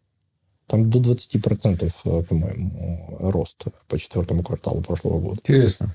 То есть, что это значит? Это значит, что бизнес по, на, наконец-то понял. понял, что, ага, окей, нужно вкладывать в модернизацию основных фондов, потому что проиграем конкуренцию. И я вам скажу, что такой подход сейчас а, жизненно важен, потому что а, и политика Европейского Союза, и политика Соединенных Штатов. Ну, а Европейский Союз, почему я его упоминаю в первую очередь? Потому что это наш, а, ну, стратегический, если хотите, рынок, да, то есть это вот то, куда мы интегрируемся. Там у нас не случайно с ними подписан документ, который называется соглашение об ассоциации. И соглашение о свободной торговле, зоне свободной торговли. Так вот, они э, думают о будущем у них есть политика, которая сейчас называется Green Deal, например, да. Это значит, что они уже сейчас заявляют о том, что, ребята, мы думаем про экологическую составляющую. То есть, если ваше производство создает загрязнение, то через время мы вас просто не пустим. Ну, то есть, вы э, там работаете технологиями 19 века, прекрасно. У себя. Да, у себя, или, если вы хотите продавать их, продавайте с... Мы, мы специально установим вам заградительный барьер для того, чтобы вы э, э, не выигрывали конкуренцию у э, наших заводов, которые модернизировались, которые не загрязняют нашу окружающую среду, угу. и которые просто не хотят, так сказать, пострадать от э, так, диких каких-то а, там заводов э, или там производств в странах третьего, а как они э, считают мир. Да, то есть что важно понимать. Они уже сейчас думают о будущем. И Украине нужно думать о будущем. Без переоборудования, перевооружения масштабного промышленности выигрывать конкуренцию с каждым годом в мире будет становиться все сложнее и сложнее. И это именно тот тренд, который мы замечали. А почему нас в этом обвиняли? Все очень просто. Потому что надо вот в чем-то э, ну, а, обвинять. То есть есть огромное количество людей, которые хотят предъявить нам претензии. Их не очень заботит адекватность этих претензий. Главное, чтобы звучало красиво. Еще о претензиях. А, пишут, что вы лоббировали всегда то, что нужно брать кредиты у Международного валютного фонда вместо того, чтобы просто искоренить коррупцию и найти эти деньги внутри страны. Например, ваши назначенцы Нефедов Виверланов, по словам Игоря Уманского, министра финансов бывшего, которую он мне э, озвучил, развели беспрецедентные схемы на таможне и налоговой, из-за которой Украина теряла миллиарды. Уманский мне сказал в интервью, что из-за скруток, так называемых, недостача э, в украинский бюджет в месяц составляет 5 миллиардов гривен. Это не считая то, что можно было бы сделать на таможне и так далее. Анатолий Макаренко, опять-таки, а, бывший дважды руководитель таможенной службы Украины, мне сказал, и сказал, что я могу на него ссылаться, что если на таможне навести порядок и устранить коррупцию, деньги Международного валютного фонда Украине не нужны. Таможня перекроет полностью займы от МВФ. Поэтому я хочу вас спросить, деньги от МВФ брать вообще надо или может навести порядок на таможне? Давайте тоже разберемся да. постепенно. Да. Да? Первое. А, я мечтаю о времени, когда Украина будет легко обходиться без э, сотрудничества и помощи э, от международных финансовых структур. Международный валютный фонд, Мировой банк, Европейская комиссия. Потому что, когда мы говорим о деньгах, кредитах, это не только про МВФ. Второе. Украина 30 лет постепенно наращивала долги. И э, это очень любопытно, но э, самые большие критики сейчас это именно те, кто, э, так кто сказать, брали. брал самые большие суммы денег. Их бы спросить, куда они делись, но это такое дело. Это дело правоохранительных органов и отдельного разговора. Поэтому, когда вы по телевизору видите политика, который там с какими-то бумажками, так сказать, кричит о том, что ай-яй-яй, э, зрада-зрада, э, мы же продаем страну и так далее и тому подобное, он забывает, что э, там 10-15 лет назад он же, собственно, понабирал столько, что мы сегодня вынуждены отдавать. И мы в этом году, друзья, каждую третью гривну вынуждены тратить на обслуживание внешних займов. Ну, и ужас, они кстати. появились, эти все проблемы, не вчера. Они появились даже не позавчера. То есть, условно говоря, вменять нам в вину, что мы там сейчас идем, берем эти кредиты, это э, ну, цинично. Ну, и, собственно, что обычно для политики. А Поэтому э, второе, да, э, мы говорим не о новых кредитах, мы говорим о том, как справиться со старыми. Это старая проблема, которая у нас существует уже очень давно. Какая стратегия решения этой проблемы? А, Очень простая. В мире страны, многие, а, глубоко закредитованы. Что это значит? Ну, многие берут кредит. Это вообще нормально. В цивилизованном мире кредит – это нормально. Если ты их ну, понимаешь, зачем ты берешь. А, Но Украина, к нашему глубокому сожалению, имеет достаточно плохую репутацию. В том числе и из-за этих замечательных э, политиков, которые говорили одно, брали деньги и на, на второй день делали другое. То есть вот это вот. Я когда-то разговаривал с одним послом, э, очень уважаемым мной одной э, уважаемой страны, и я его спрашивал, говорю, смотрите, слушайте, скажите мне, вот как вы думаете, а в чем главная проблема вот, Украины как государства? А он мне тогда сказал, а он блестяще разговаривал по-украински, он сказал мне, ты разумеешь, я думаю, що а, ваша еліта думає, що вона дуже хитра. И это очень запомнилось мне, потому что, э, на мой взгляд, это квинтэссенция. Количество необразованных, бестолковых людей, которые э, находились э, у нашей власти, а часто образованных, но негодяев, которые обманывали международные институции, чем уничтожали просто репутацию Мгм. Государство. э, такое, ну, то есть это сплошь и рядом, да, что сегодня разговаривать с кем-то о дешевых деньгах нам очень сложно.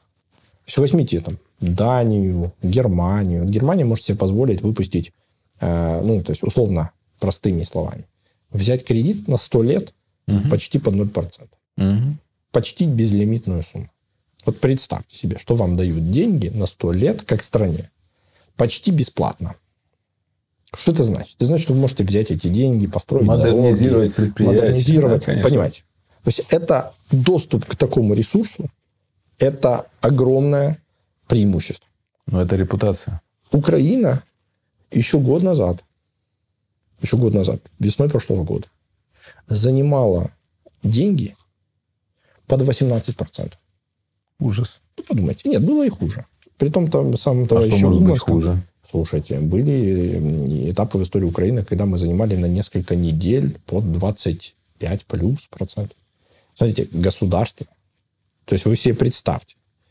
Сто, то есть дожились до того, что стране давали деньги под дикие проценты на там перекредитоваться до зарплаты. Вот вы можете себе вот просто это представить? Это же, ну, новитная история Украины. Так может И- на таможне навести порядок? Давайте закончим. Это разные проблемы. Не взаимоисключающие. Независимо от того, что делать с этими долгами, надо наводить порядок на таможне. Это разные вещи. И это не взаимоисключающие. Нормальная стратегия обслуживания долга выглядит следующим образом. Перекредитовываться, но на более долгий срок и на более дешевых условиях. То есть нормально иметь кредит, если ты за него платишь копейки и используешь его, например, на обновление инфраструктуры. Нормально. Это практика, по которой живет любая страна в мире. Наша задача была, и сейчас она остается для страны, это удешевить стоимость обслуживания этого огромного долга. То есть нам надо, чтобы проценты по ним не так сильно давили на бюджет. Это та задача, которая стоит. А брать это, надо еще кредиты? а, нужно перекредитовываться для того, чтобы Гасить. процентная ставка, ну, с одной стороны, гасить, С другой стороны, процентная ставка была меньше. Потому что, ну, это же все про баланс. Ну, то есть мы э, ну, нужно считать, понимаете? Вот у вас есть там условно миллиард гривен. Что выгоднее? Прямо сейчас погасить или прямо сейчас там, не знаю, инвестировать в дорогу? Понимаете? Конечно. Да? В каждом конкретном случае Конечно. это деньги. То есть нужно смотреть стоимость денег, нужно смотреть на потенциально, сколько ты можешь привлечь их, потенциально, там, сколько тебе будет стоить э, там, деньги из бюджета. Потому что вполне возможно лучше этот миллиард снизить налоги и ну, дать, возможность... дать возможность бизнесу развиваться. Понимаете? Потому что не бывает государственных денег. Бывают деньги плательщиков налогов. Это надо помнить. Потому что в момент, когда ты говоришь, что давайте соберем там э, дополнительных 20 миллиардов э, и заплатим за счет них кредит, надо помнить, что эти 20 миллиардов мы соберем с бизнеса. Вот, вот и все. Это не хорошо, не плохо, это просто так. Да? Поэтому иногда лучше перекредитовывать, но на более выгодных условиях, на более долгосрочный срок, и не создавать дополнительное давление. Но все это не отменяет наведение порядка на таможне. Теперь по поводу таможни и налоговой. Есть две составляющие. Фискальная и экономическая. Угу. Фискальная. А, с точки зрения... А, ну, она звучит следующим образом. Налоги и сборы все должны платить одинаково. Ну, закон должен выполняться. Понятно. Государство должно выполнить эту функцию. А, я хочу говорить исключительно языком статистики, даже учитывая, даже там, забывая, что на самом деле и господин Верланов, и господин Нефедов были назначены не мной и не моим правительством. Они были назначены господином Гройсом. Они достались нам в наследство, и спасибо им, кстати, за это. То есть это, э, ну, это очередная такая история, когда уходя, ты уже понимаешь, что ты уходишь, все равно ловить нечего, и ладно, назначим там туда людей Интересно. для того, чтобы показать перед выборами красивых этих товарищей, ребят. То есть до, до тех пор э, э, там орудовали другие совсем люди. Вот, и я хочу верить э, и уверен с другими целями. Но потом перед выборами надо, так сказать, показать. А не Федор и Верланов специалисты, вы считаете? Смотрите, э, я считаю, что ребята хорошо разбираются в том, что происходит там. Но каждый раз, когда ты выбираешь человека на какую-то позицию, ты должен учитывать три вещи. Если ты там премьер-министр или если ты там министр, выбираешь человека на какую-то высокую государственную позицию. Первое. Его порядочность и стойкость к э, коррупционным схемам. То есть, по сути, его готовность работать не себе на карман, а на схему. Потому что количество опытных, прекрасных людей, которые играют не в моей команде, в том смысле, что они угу. работают себе на карман, которые обслуживали схемы одних, потом схемы других, потом схемы... Они прекрасно разбираются в том, как это работает. Но я не в страшном сне бы не допустил их к э, подобным позициям просто по одной простой причине. Потому что я уверен, что у них вот этого вот барьера этого не красть нет. Угу. Для меня это красная линия. Э, это первый фактор. Второй фактор.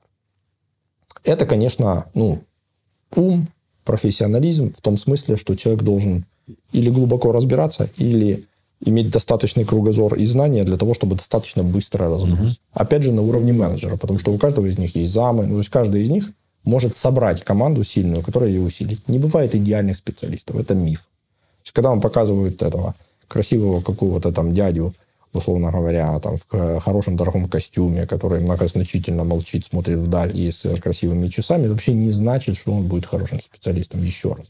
И то, что он до этого 15 лет работал в какой-то структуре, вообще никак его не характеризует. Я посмотрел, есть ли у вас часы сразу автоматически. Э, нет, не ношу. Э, вот. И э, это вторая история. И третья история – это, извините, готовность служить государству. Потому что работа на государственной службе сейчас – это не про высокие зарплаты. Конечно. Это постоянный стресс. Это огромное количество врагов. Это огромное количество грязи, которое на вас выливается. Заказной. Ну, то есть, вы же понимаете, когда вы перекрываете краник негодяем каким-то, а у них вот вчера они зарабатывали на этом там, миллионы долларов, а сегодня уже значит, их людей увольняют, а, и как бы там счастье заканчивается, они эти деньги начинают тратить куда? На суды, к сожалению, для того, чтобы там оплачивать там, адвокатов, э, там, угу. иногда там продажных судей, э, для того, чтобы там э, восстановить на работе своих, так сказать, этих подопечных. Они оплачивают средства массовой информации, они проплачивают митинги, которые потом гробы, извините, возят под дом. Ну, вообще не смешно. Ужас. Так вот, это война. И надо понимать, что людей, которые одновременно патриотичные, которых одновременно нормальная репутация, которые э, не выглядят как э, люди, которые придут и завтра начнут э, mm-hmm. строить э, схемы, и которые готовы идти на войну, их очень ограниченное количество. Очень ограниченное количество. А, и я вам скажу, что процесс подбора таких людей на подобные должности, он не выглядит так, что у тебя есть там лавочка из э, запасных из там тысячи специалистов, и ты тут вот прям э, выбираешь, да? это часто риск. То есть ты часто делаешь выбор в пользу человека, который, по твоему мнению, способен а, там зайти, разобраться и поменять систему. Угу. И поэтому а, я оценивал работу а, и Макса, и господина Верлана, а, и других ребят, которые точно так же зашли. Там, Саша Стародубцев на э, этот самый агентство, государственное агентство государственной службы. И там Егора Фирсова, который возглавил ДЖК-инспекцию, еще один рассадник а, коррупции. Я расценивал их работу по статистике. То есть ты каждый месяц смотришь статистику и видишь, чем она отличается от предыдущих периодов. Так вот, динамика по всем этим органам была позитивная, положительная. Может ли такой человек, вот вы завтра возглавляете налоговую, скажите, пожалуйста, вы на следующий день прекратите коррупцию? Конечно, нет, это невозможно. Это десятки тысяч людей, которые работают в системе, у которых где-то остался какой-то схематозик, да. где-то кто-то чей-то, э, там, кто-то рос в системе, у кого-то какие-то связи. Украина огромное государство. Поэтому прекратить коррупцию сегодня на завтра невозможно. Можно поставить честных менеджеров, которые постепенно будут очищать, менять систему. Зарплаты в том числе нормальные сделать. Где же их взять? А, э, э, вот. Там у нас сейчас говорят про кадровый голод. Сейчас там мода такая. Так вот, мой ответ очень простой. Людей нужно воспитывать. У нас в достаточном количестве нету ни министров. Это, это ну, больно об этом говорить, но это правда. У нас в достаточном э, количестве нету а, руководителей а, центральных органов исполнительной власти, которые отвечали бы всем этим трем критериям. Количество негодяев, которые готовы хоть завтра пойти на любую позицию, а, вот, на любых условиях, только бы их допустили к кормушке, их э, пруд пруди. А, но э, вы же понимаете, к чему это приведет. Ну, то есть ничего общего с изменениями это иметь, э, к сожалению, не будет. Я вот не случайно спросил про ваши часы. Скажите, за время пребывания на посту премьера вы разбогатели? Беднее стал. Намного? Нет, ну, я думаю, что на, на тысячи долларов точно. Ну, то есть Скажите, десятки. То есть, возможно быть премьер-министром на вашем примере и не заниматься коррупцией? Вот даже ваши враги. Конечно, можно. Даже ваши враги, я хочу подчеркнуть важный момент, говорят, вот он ничего не украл. Не украл. И это уже важно. Это уже очень важно. Это прецедент, во всяком случае, для Украины. А, возможно не заниматься коррупцией, находиться на посту премьер-министра. Я вам скажу больше. Смотрите, это же культурная проблема, на мой взгляд. Давайте посмотрим на то, как выглядит наша политическая система. А есть большие группы влияния. В простонародье олигархи и не только. У которых есть свои медиа, которые на каждые выборы а, там, ведут или там, помогают какие-то политические проекты партии. А, у которых есть огромный опыт, огромные ресурсы, у которых есть армии юристов. А, эко, ну, как бы, у которых есть структуры, которые по своей мощи и готовности воевать часто не, не, не сопоставимы да. с там, министерствами, которые у тебя есть. И э, это э, очень сильная группа влияния. Ну, то есть это надо просто отдавать себе отчет. Не хорошо, не плохо, это надо просто понимать. Это часть нашего ландшафта. Да? А, и о проблемах э, там с ними э, мы отдельно поговорим. Угу. Я для себя прихожу к выводу о том, что они ничему не учатся. Я вам скажу честно. Потому что если посмотреть там тот же самый, э, ну, там, капитализацию бизнеса, да, мы видим, что они все беднеют, да, к сожалению. На фоне их коллег э, так точно. Да, а если вкладывали в страну, богатели? Вопрос не в вкладывании в страну. Это другой вопрос. Кстати, некоторые из них э, так делают. Размещают у производства, значит, там мучат людей, там проекты какие-то, фонды, академии. Ну, то есть проблема просто в том, что есть такое выражение, это ежики плакали, кололись, но продолжали грызть кактус. Да? Вот и тут. Грызут. Вот, вот дешевеет и дешевеет страна, дешевеет и дешевеет страна, а они все поддерживают этих популистов и негодяев, политиков и поддерживают. Вот даже сейчас, я там не хочу э, там называть имена, но вот там замечательные эти наши э, эти Юлия Владимировна, там Олег Валерьевич Лешко. Ну, тут это вся инкарнация. Что, думаете, она сама происходит? Ну, нет, конечно. То есть, э, вот эти все вещи, их, ну, этих политиков, которые по-прежнему нам рассказывают про Советский Союз, по-прежнему нам там рассказывают про какие-то космические корабли, масонские заговоры какие-то рисуют. Ну, вот это вот все, да. А, ну, вы же не э, верите в то, что э, умные, э, значит, успешные в нашей стране э, богатые люди, они всерьез э, понимают, что Украина должна оставаться там, я не знаю, социалистическим государством. Конечно. Понимаете, да? Конечно. Если ты хочешь жить в э, нормальной стране, цивилизованной, с рыночной экономикой, со всем остальным, при этом инвестируешь в политиков, которые прямо с этим борются, ну, у меня вопрос. Э, извините. Э, к... Я понимаю тактику раскладывания яиц во все корзины. Я это все понимаю. Но это очень близорукая, извините, тактика.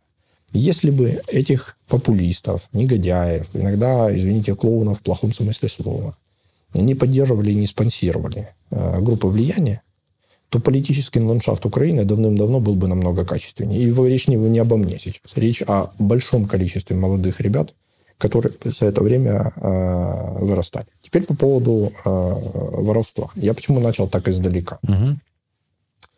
Потому что давайте себе представим. Вот приходит уж как-то там, там чудом порядочный человек э, на какую-то политическую позицию типа премьер-министра. Какой у него выбор?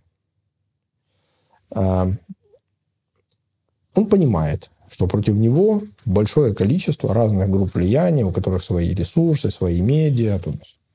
Вариант номер один – это сдаться кому-то в плен, начать работать на него, обслуживать его интересы и как-то там за счет этого держаться, воевать. Кто-то за тебя будет воевать, кто-то против тебя. Ну, и вот это какая-то возня, вот это подпадет. Вариант второй это выбрать себе там какое-то количество там схематозиков, поставить туда на эти схематозики своих людей, настроить какую-то там, я не знаю, какую-то там какую-то схему, пусть там капает какие-то миллионы долларов. Травку. Ну, а вы должны понимать, что позиция премьер-министра – это там позиция, которая позволяет тебе там продавать должности там за миллионы долларов. Ну, то есть это там, теоретически если ты там пришел для того, чтобы заработать денег, поле для... А сколько премьер-коррупционер может зарабатывать в месяц? Десятки миллионов. Слушайте, ну, последнюю взятку 6 миллионов долларов видели? Да. Ну, понимаете. То есть, это все, и это только, ну, цветочки.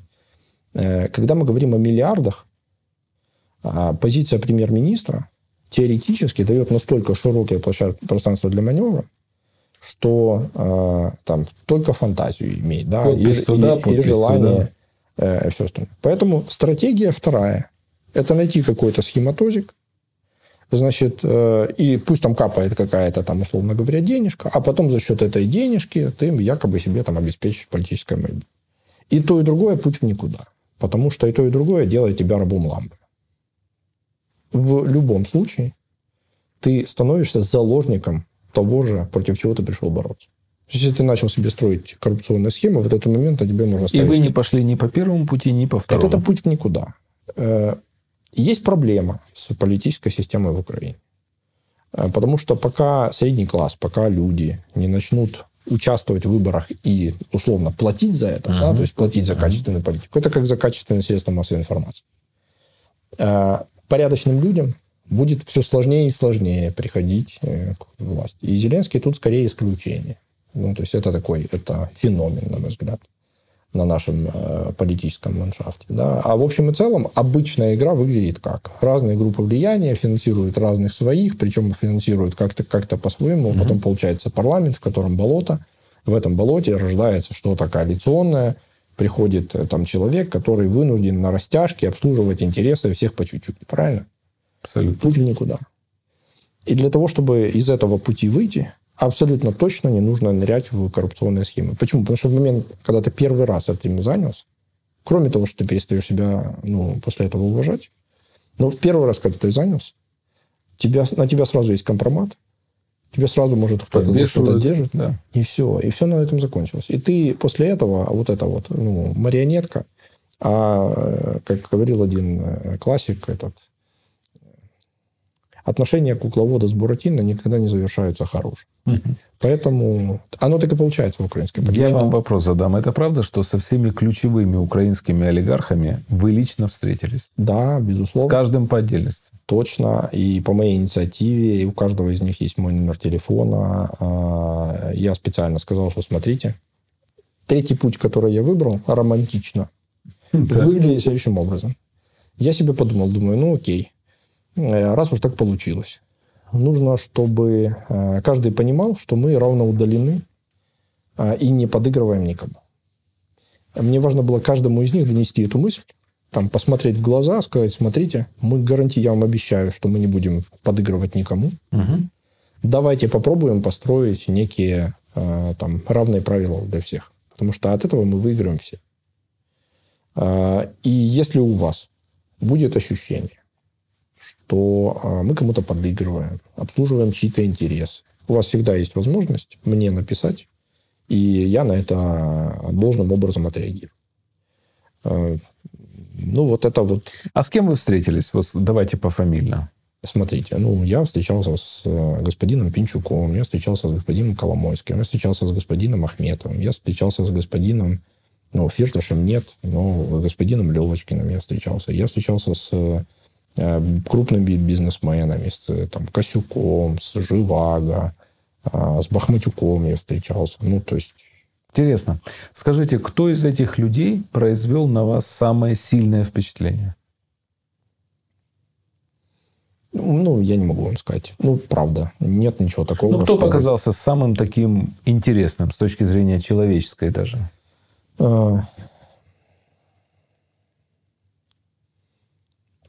Мне очень сложно, правда. Не в смысле я там хочу кого-то, я просто не хочу выдумывать. Ну, у меня с каждым состоялся интересный, содержательный э, диалог, с кем-то несколько. Э, это все интересные люди по-своему. Вы дали свой телефон, чтобы они вам звонили? Чтобы у них была возможность, если что, прямо написать мне и задать вопрос. Кто-то писал и звонил? Конечно. Да? Кто? Конечно. Э, Самым активным был а, Игорь Валерьевич, он человек общительный. А, давно, ну, по-моему, все практически. У меня со всеми какое-то продолжение общения было. Игорь Валерьевич вас жизни учил? Нет. Но у вас были напряженные отношения? В личном общении да. он был всегда предельно корректен, а, учтив. У меня не было с ним никогда... Ну, то есть, вот я знаю, да, знаете, есть такая слава, когда он может там на кого-то наезжать, неуважительно относиться. Да, не может быть. У меня, а, мне, наверное, повезло. А может быть, э, там, по каким-то другим причинам, но я никогда не чувствовал себя там, дискомфортно в э, общении с ним. Если бы чувствовал, я бы ему об этом, безусловно, сказал. А тут э, вопрос в другом. Главная мысль, которую я разделяю и в которой я уверен и сейчас, заключается в очень простом. Что у Украины в связи с Зеленским, в том числе, ну и там целый ряд других обстоятельств тоже, э, дает нам очередной уникальный шанс э, превратиться в там, качественно что-то Цивилизованную другое. страну. Качественно что-то другое. И это в интересах всех. Вот я верю, что прагматичный интерес всех этих э, людей в том, чтобы тут были по-честному mm-hmm. не коррумпированные суды, mm-hmm. в том, чтобы не, нельзя было по телефону порешать с прокурором, в том, чтобы э, правительство не подруливало кому-то одному, а попыталось э, там построить э, более-менее равные правила игры. Хотя я вот так говорю, да, там равные правила игры, а всегда же ну, дьявол в деталях. А вдруг кто-то равнее будет? Есть история, которая сложилась. Конечно. Есть исторические интересы какие-то, которые всегда какими-то были, какими-то не были. Есть какие-то счеты между ними. Да, у каждого из них э, там, между ними э, там, очень разные отношения. Это надо понимать. Поэтому я не... Ну, то есть у меня нет такого упрощенного представления о том, что надо, там, не знаю, взяться за руки и всем будет хорошо. Вообще нет. Но важно, э, чтобы каждый из них понимал, что государство должно быть сильным. И управление государством, и влияние а, силовое а, на государство – это табу. Нельзя, если ты занимаешься крупным бизнесом, пытаться внедриться в государственные институции, расставить своих людей. Нельзя. Это табу. Пока это не будет табу для крупного бизнеса в Украине, у нас будет болото. А кто-нибудь из этих очень богатых, уважаемых людей говорил вам, Алексей, ну, вы же молодой человек, надо думать о будущем. Ну, давайте раз в месяц вам будут привозить там чемоданчик столько-то или переводить на любой счет, там назовете счет, чтобы Даже у нас были намек... хорошие отношения. Даже не намекали. А, видимо, слава идет впереди человека. Ну, то есть, когда ты... Вы понимаете, есть вопросы, которые нет смысла задавать. Потому что ответ понятен э, наперед. Э, я вам больше скажу. Э, даже какие-то завуалированные формы, угу. там, типа фондов угу. каких-то там для там, финансирования каких-то программ воспринимались мной очень осторожно. Хотя я верю, что некоторые из этих людей, они искренне там, готовы были помочь. Но репутация штука очень э, хрупкая.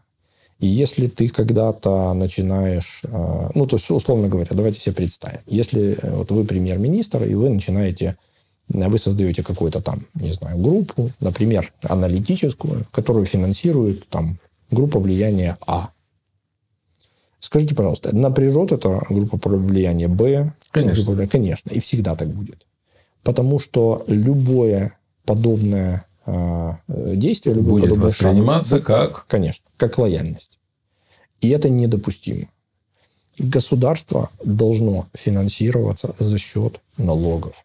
Это важно, потому что оно работает в интересах граждан и налогоплательщиков. Пока будет иначе, пока будут вот эти какие-то гибридные истории, всегда будут подозрения, мифы, и прочая ерунда, которая нас э, отдаляет. Для меня принципиально важно было, чтобы министры получали э, небольшую, э, достойную для такой позиции заработную плату. А почему это было важно? Потому что когда министр подписывает документы на миллиарды угу. гривен каждый день, угу. а после этого там приезжает и там едет домой и думает, как ему заправить автомобиль. Деформация. Это не просто деформация, это опасно. Ну, это, это непозволительно опасно. А, и вопрос не в том, что а, э, как бы там это много, мало денег. Просто, просто в том, что если ты не платишь своим чиновникам, то ты, а, проигрываешь на старте группам влияния, угу. Б, потому что у тебя никогда не будет некачественного продукта, все Конечно. их купят кого-то, еще что-то. Конечно. И Б, люди истощаются. Ты не можешь э, жить и работать 20 часов в сутки. За копейки. За копейки. Нет, как за копейки.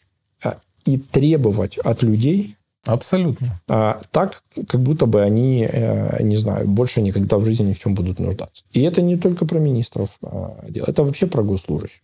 И тут у нас другой перекос есть, что у нас есть там избыточное количество э, там, функций, органов, людей, то есть нужно сокращать в этом смысле. Но у людей должно быть достойное брение. Тогда будет э, способность у государства э, противостоять в том числе таким интересам. Украину по-прежнему покидает много людей. Вот знаете, были надежды, многие зарабичаны мне говорили, вот сейчас поменяется власть, и мы наконец вернемся, потому что президент зовет возвращаться. Но пока не возвращаются, мало того, уезжают. Вот что делать? Э, как бы вы объяснили зарабичанам, почему им надо бросить все там, где они находятся, в Италии, в Испании, в Португалии, и вернуться назад? Вы знаете, для меня это такая достаточно личная история, потому что последние 20 лет и моя мама тоже живет постоянно в Италии. Э, она там работает простым медиком в, там, в госпитале. Кстати, история с коронавирусом э, в этом смысле была достаточно такой э, сложной для меня, переживал. Но не в этом суть. Что им объяснять? Ну, каждый человек ищет, где ему лучше. И если он в Украине не может найти себе работу, то, очевидно, он будет пытаться уехать куда-то, чтобы заработать. Я очень хорошо понимаю, э, там, что чувствуют семьи таких людей, потому что это, конечно, ненормально. Э, когда человек приезжает там раз в год, э, когда у него нет возможности постоянно находиться там, в семье. Э, и это большая трагедия, на самом деле, для Украины.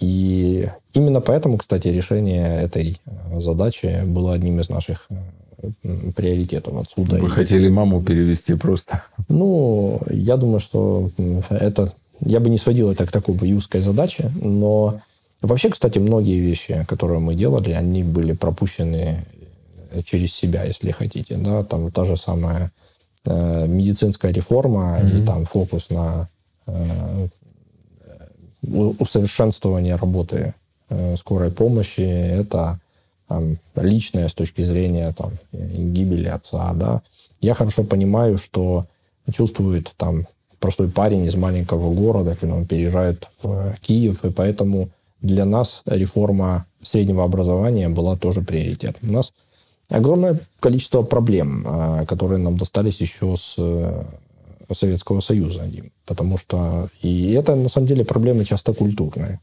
Э, вы же хорошо, наверное, знаете, что детки, которые э, заканчивают школу, очень часто их родители говорят, вот, ты должен поступить в университет. Конечно.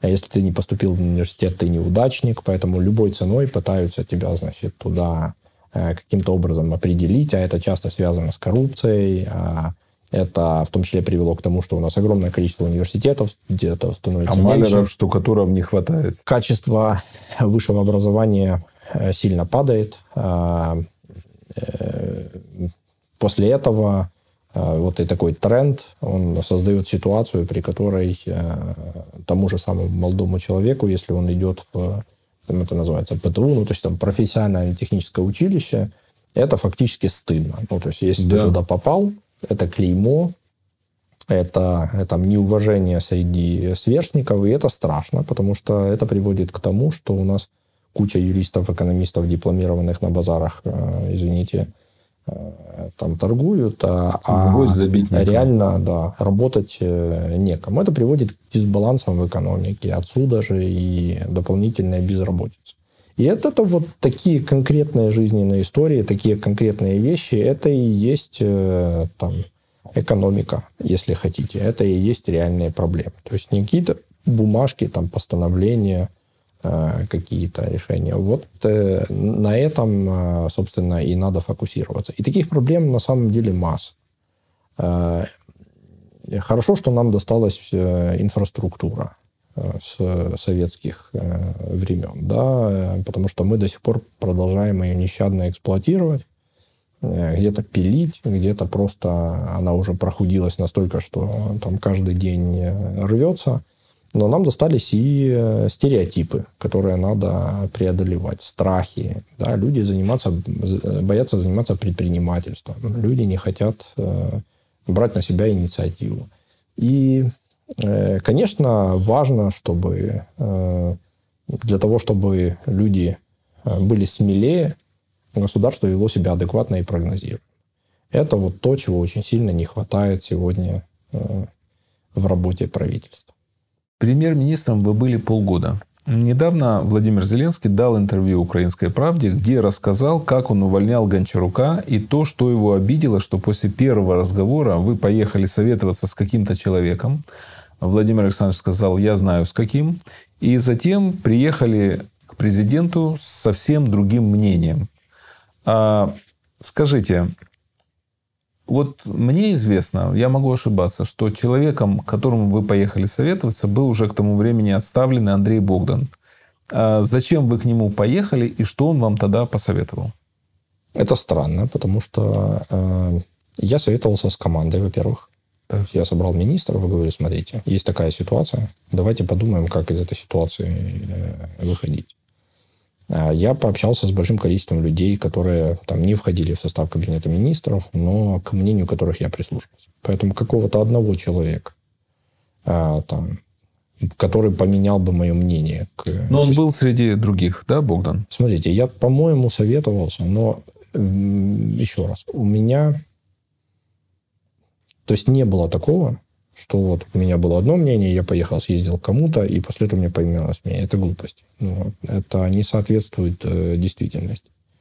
Но что правда, я попытался еще раз донести до президента позицию о том, что это ну, плохая идея менять правительство э, именно в тот момент. И я и сейчас так считаю. Я считаю, что это ошибка, э, которая в том числе и там возымела и будет еще дальше иметь последствия. Правду ли говорят, что именно Игорь Валерьевич Коломойский убедил президента отправить вас в отставку? Не знаю.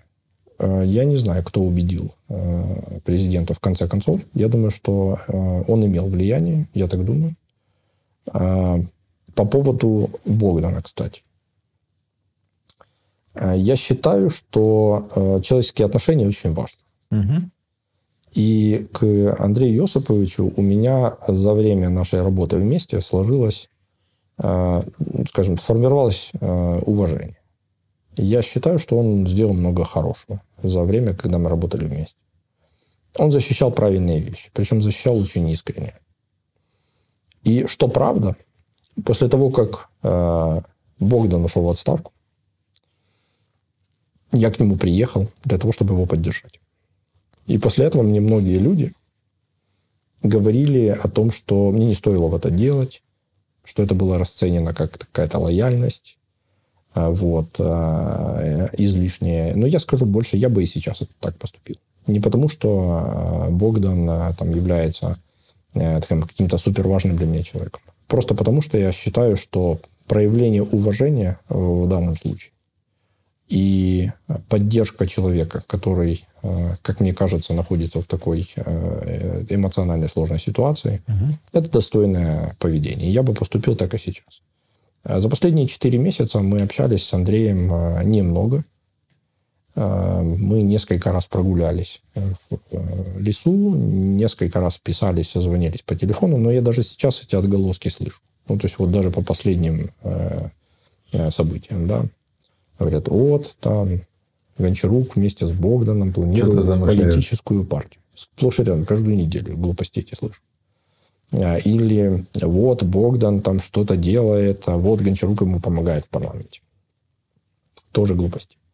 А, я считаю, что вот эта вот охота на ведьм, вот эти вот какие-то там слухи лишние, это проблема. Я общался с многими людьми правда с мной. Э, в том числе и по поводу отставки. Вообще тот момент, он был достаточно сложным, откровенно, потому что я, с одной стороны, понимал, что ну, есть страна, угу. и ты премьер-министр. И от твоего решения зависит ну, многое достаточно. Ну, то есть, условно говоря, решение не написать заявление и решение, там, условно, э, занять жесткую позицию в диалоге с президентом, сказать, нет, извини, я не буду этого делать по каким-то причинам, оно, э, это решение, к которому меня подталкивало большое количество людей. А, но я считаю, что оно было недопустимым по двум причинам. Первое, это привело бы к политическому кризису, а мы очень часто проходили это в истории Украины. Ну, то есть у нас, в принципе, кстати, Конституция написана таким образом, что позиция президента и премьер-министра, они часто конфликтуют. Ну, то есть это сплошь и рядом. Премьер-министр начинает воевать с президентом. Значит, тут неразбериха какая-то там. Постоянно, практически постоянно и был. Я выше этого. Я считаю, во-первых, я пообещал президенту когда-то угу. по своей инициативе. Из меня этого обещания никто не выбивал. Никто не, не просил меня писать заявление заранее. Я бы ну, там, не занимался такой ерундой. Э, но я пообещал президенту о том, что э, я как лидеру политической команды готов ему всегда написать заявление в момент, когда он об этом попросит. Он об этом попросил, я это сделал. А, и сделал бы так еще раз, если бы такая ситуация подвернулась. По двум причинам. И потому, что я держу слово, которое я дал, и потому, что э, альтернативный сценарий привел бы к глубокому политическому кризису. Скажите, отставка стала для вас глубокой такой личной трагедией? Смотрите, есть категория людей, которые считают, что назначение на подобную позицию – это награда, а отставка – это наказание. Это ерунда. Вообще это совсем иначе. Э, это огромная ответственность. Она сейчас, э, большая ее часть свалилась с плечей. Я свободный человек. Я могу, когда я хочу, поехать кататься на велосипедах. Ну, то есть это очень по-простому. И не по Кабмину на самокатах. Сто процентов. Ну, то есть в более приятных э, для этого местах. Или играть в футбол с друзьями. Или уехать из города, там, не знаю, на несколько дней просто для того, чтобы, не знаю, подышать свежим воздухом или побыть с друзьями. Э, это свобода, она очень дорогого стоит. Ты начинаешь ее ценить в момент, когда ты там, почувствовал какую-то альтернативу. Э, это, во-первых. Во-вторых, это позволяет мне сейчас смотреть на ситуацию со стороны. Это огромный опыт. Угу. И это же только начало, Дмитрий. А, мне еще лет 30 точно а, осознанной жизни работать в этом политическом поле. И это далеко не последнее мое появление в подобных высоких кабинетах. А, опять-таки, вот я разговаривал с разными очень уважаемыми людьми у вас перед интервью. Что мне говорили? Один человек говорит, ну, беспрецедентная история, когда у премьер-министра почти весь Кабмин, лично его, то есть беспрецедентный колоссальный ресурс. И так он говорит выйти в гудок в результате. Второй говорит, Леша, а, это не украсть, не посторожить. Что вы думаете о том, вот, что сказали этих два человека? Ну, не украсть точно. Э, сторожить э, Пусть сторожат другие. Это правоохранительные органы должны этим заниматься. Да. Ну, формирование политики – это о другом. По поводу беспрецедентного, конечно, я совершенно с этим согласен. Э, вообще то, что происходит с э, украинским политикумом после прихода господина Зеленского, это все одна сплошная беспрецедентная э, история. Он поменял существенным образом политический ландшафт, за что ему честь и хвала. А, но при этом, э, что надо понимать? Что это и беспрецедентная история, когда у премьер-министра э, там нету своей политической поддержки во фракции. Ну, то есть да. в том смысле, что ты зависим от э, офиса президента полностью. Это не хорошо, не плохо, это просто ну, так есть. факт. Да?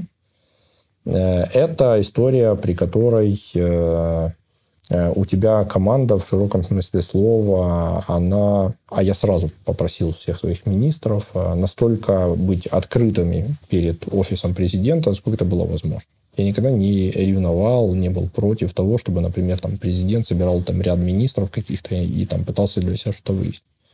Я считаю, что политика это вообще командная игра, в которой идеальную формулу описал э, господин Биндукидзе о том, что для того, чтобы страна изменилась, нужно три человека. Первый, который будет делать реформы, второй, который будет закрывать негодяев, третий, который будет э, политической э, э, такой защитой для первых двух. Потому что делать одно, второе и третье одновременно или одному человеку невозможно. Это научная фантастика.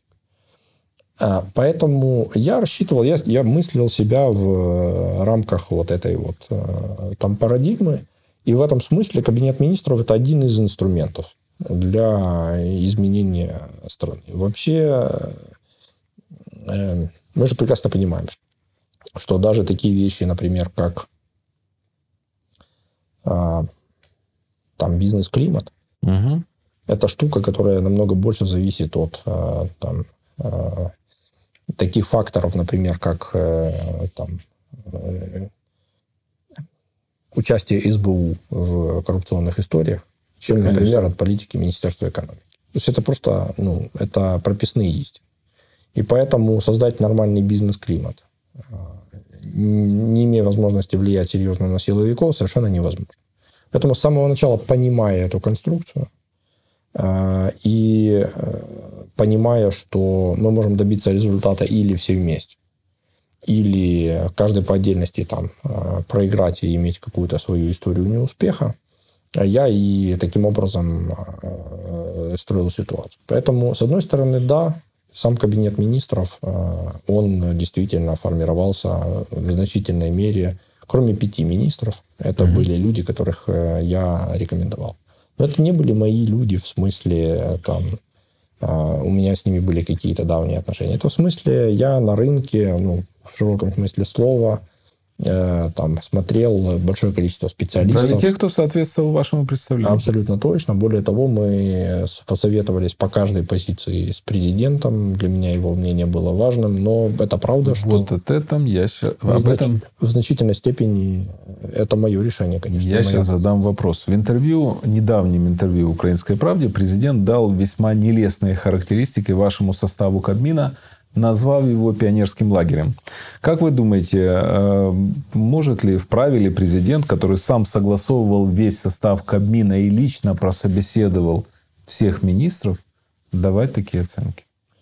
Вы знаете, я думаю, он политик. Ему важно продолжать нравиться э, там, своим избирателям. Поэтому, конечно, он будет пытаться награждать нас подобными какими-то эпитетами и метафорами. Но вы не обиделись, когда это почитали? Нет, конечно. Э, смотрите, я понимаю, что он в роли политика, mm-hmm. ему нужно критиковать. Э, и все. Ему нужно как-то объяснять э, те решения, которые он принял. Я думаю, что каждое следующее решение ему будет объяснять все сложнее и сложнее. Вот. Но он все равно такую модель поведения выбирал. У нас средний возраст кабинета министров был далеко за 35. Ну, то есть это надо понимать. Это не люди там, по 25 лет, э, то есть это все люди с э, хорошим, состоявшимся опытом, каждый свой. С биографиями. Смотрите, поэтому это все, конечно, ну, то есть красивые, конечно, какие-то эти самые цитаты, но в подавляющем э, количестве случаев это вообще ничего не имеет общего с действительностью. То, что это не были крепкие хозяйственники из там, 90-х или там, времен Януковича, это правда. Потому что для меня принципиально было Э, не внешний вид, а там, в том смысле, что мне, мне не важно было, чтобы человек выглядел там этот, там, мясным господарником mm-hmm. или там солидно, что называется. Для меня важно было, что у человека в голове и какие у него а, намерения. Каждый из министров практически э, был, э, на мой взгляд, на своем месте, но действительно, конечно, ошибки у нас были, и ну, по ним надо разбираться. Общее заявление, общие оценки подобного толка, это э, прискорбно, но я к этому отношусь как к должному. Это Понимание. часть опыта, который у меня есть сейчас. Денис Шмыгаль хороший пример. Я не хотел бы его оценивать сейчас. Это было бы некорректно, на мой взгляд. Он был неплохим губернатором. Э, он был э, слишком э, недолгое время вице-премьером в моем правительстве. И поэтому сказать о нем что-то содержательное, объективное, мне достаточно сложно. Мне очень многие вещи не нравятся, которые сейчас происходят в правительстве. Там много странных хаотических заявлений. Но я допускаю, что Денис Шмыгаль слишком слабо влияет на кабинет министров для того, чтобы приписывать все эти э, э, там, недостатки лично ему. Поэтому я думаю, что он в достаточно сложной ситуации. Э, я не согласен с многими решениями, которые они принимают. Я не согласен, я считаю, многие там и заявления, в том числе, ошибками, но общие оценки я бы пока не дал. Шмыгаль, как премьер-министр, лучше, чем премьер-министр Гончарук? Ну, это точно не мне оценивать. Михаил Саакашвили был бы хорошим премьер-министром, на ваш взгляд? Сложно сказать. У него есть сильные и слабые стороны какая бы из них э, э, там сыграла какую роль, э, мне оценивать сейчас сложно. Он точно заряжен на изменения, и в этом смысле он очень хорош. Он точно лидер, и в этом смысле я думаю, что ему было бы у него бы получалось в том числе работать с парламентом. А, но, скажем, там, тот опыт, который у него есть в Украине, пока свидетельствует о том, что эти качества, они не всегда там срабатывают. Наверное, в том числе и из-за противодействия групп влияния. Мне сложно об этом пока судить. Я опять вас процитирую. В первом же после назначения интервью, которое вы давали на Лужайке во дворе Кабмина, вы сказали, что уволите Авакова, если он будет плохо работать. По итогу... Я, по-моему, я сказал, что если будут пересечены красные линии, как-то так. Так. По итогу уволили вас, а Аваков продолжает работать. Какие у вас были с Арсеном Борисовичем отношения во время вашей работы на посту премьер-министра? Смотрите, очень ровные э, рабочие отношения. Какая вообще, я бы сказал, роль Авакова в современной украинской политике? Это очень разные вопросы. Э, если говорить о наших отношениях, так. то Аваков, он очень э, корректный, опытный человек. И поэтому у меня никогда не возникало какого-то каких-то проблем с, ни с ним, ни с его ведомством или э, там какого-то дискомфорта по поводу взаимодействия с Министерством внутренних дел. Э, буквально на там, второй или третий день, э, ну, там, какие-то из первых дней э, моей работы, я пригласил Арсена Борисовича, мы созвонились, я пригласил его на встречу, мы с ним долго разговаривали один на один. Я ему честно сказал, что я был против его назначения в правительство. Очень Были против? Я ему так и сказал. Ну, на самом деле, никакого ну, там тайны Полишинеля, секрета Полишинеля в этом не было. Ну, то есть об этом знало большое количество а людей. почему? Э, Все очень просто. На самом деле, я считаю, что люди, э, которые являются группами влияния, по сути, которые олицетворяют одну из групп влияния, Арсен Борисович, безусловно, один из самых влиятельных людей в этой стране, э, их наличие и присутствие в правительстве – на мой взгляд, э, рушила вот эту вот концепцию равноудаленности от всех. Интересно. А, и, ну, опять же, тут нету какой-то, э, я не знаю, там, какого-то там суперсекрета. Э, и мы и вы ему в глаза это повторили? Конечно. Он обиделся? Нет. Он достаточно взрослый, на мой Умный. взгляд, человек для того, чтобы обижаться на такие глупости. Ну, то есть, это честный диалог двух людей. И более того, я ему благодарен за то, что после этого я не чувствовал там никаких подлостей с его стороны. На мой взгляд, он такой в этом смысле правильный человек. Я считаю, что то состояние, в котором сегодня находится полиция, оно, мягко говоря, далеко от э, желаемого. Я считаю, что там по-прежнему работает большое количество там, негодяев, я считаю, что чистка не закончена. Я Арсен Борисович тоже знал эту мою оценку. А, и... Надо платить хорошо, и будет меньше негодяев, больше профессионалов. Логично? Это, это тоже правда. Это не единственная проблема. Это тоже правда. Но еще раз. С самого начала мы говорили о том, что с президентом, о том, что э, силовое крыло в воюющей стране, международный компонент, это сфера ответственности офиса президента. И я всегда с уважением относился к этой э, позиции. Э, поэтому, э, кроме тех министров, которых по Конституции э, подает президент без, непосредственно, я принял позицию президента по министру внутренних дел. Это была его позиция? Это, конечно. Ну, так это об этом все знают. Он неоднократно об этом заявляет. По-моему, все то, что я вам сейчас рассказываю, это вполне э, известные давно вещи.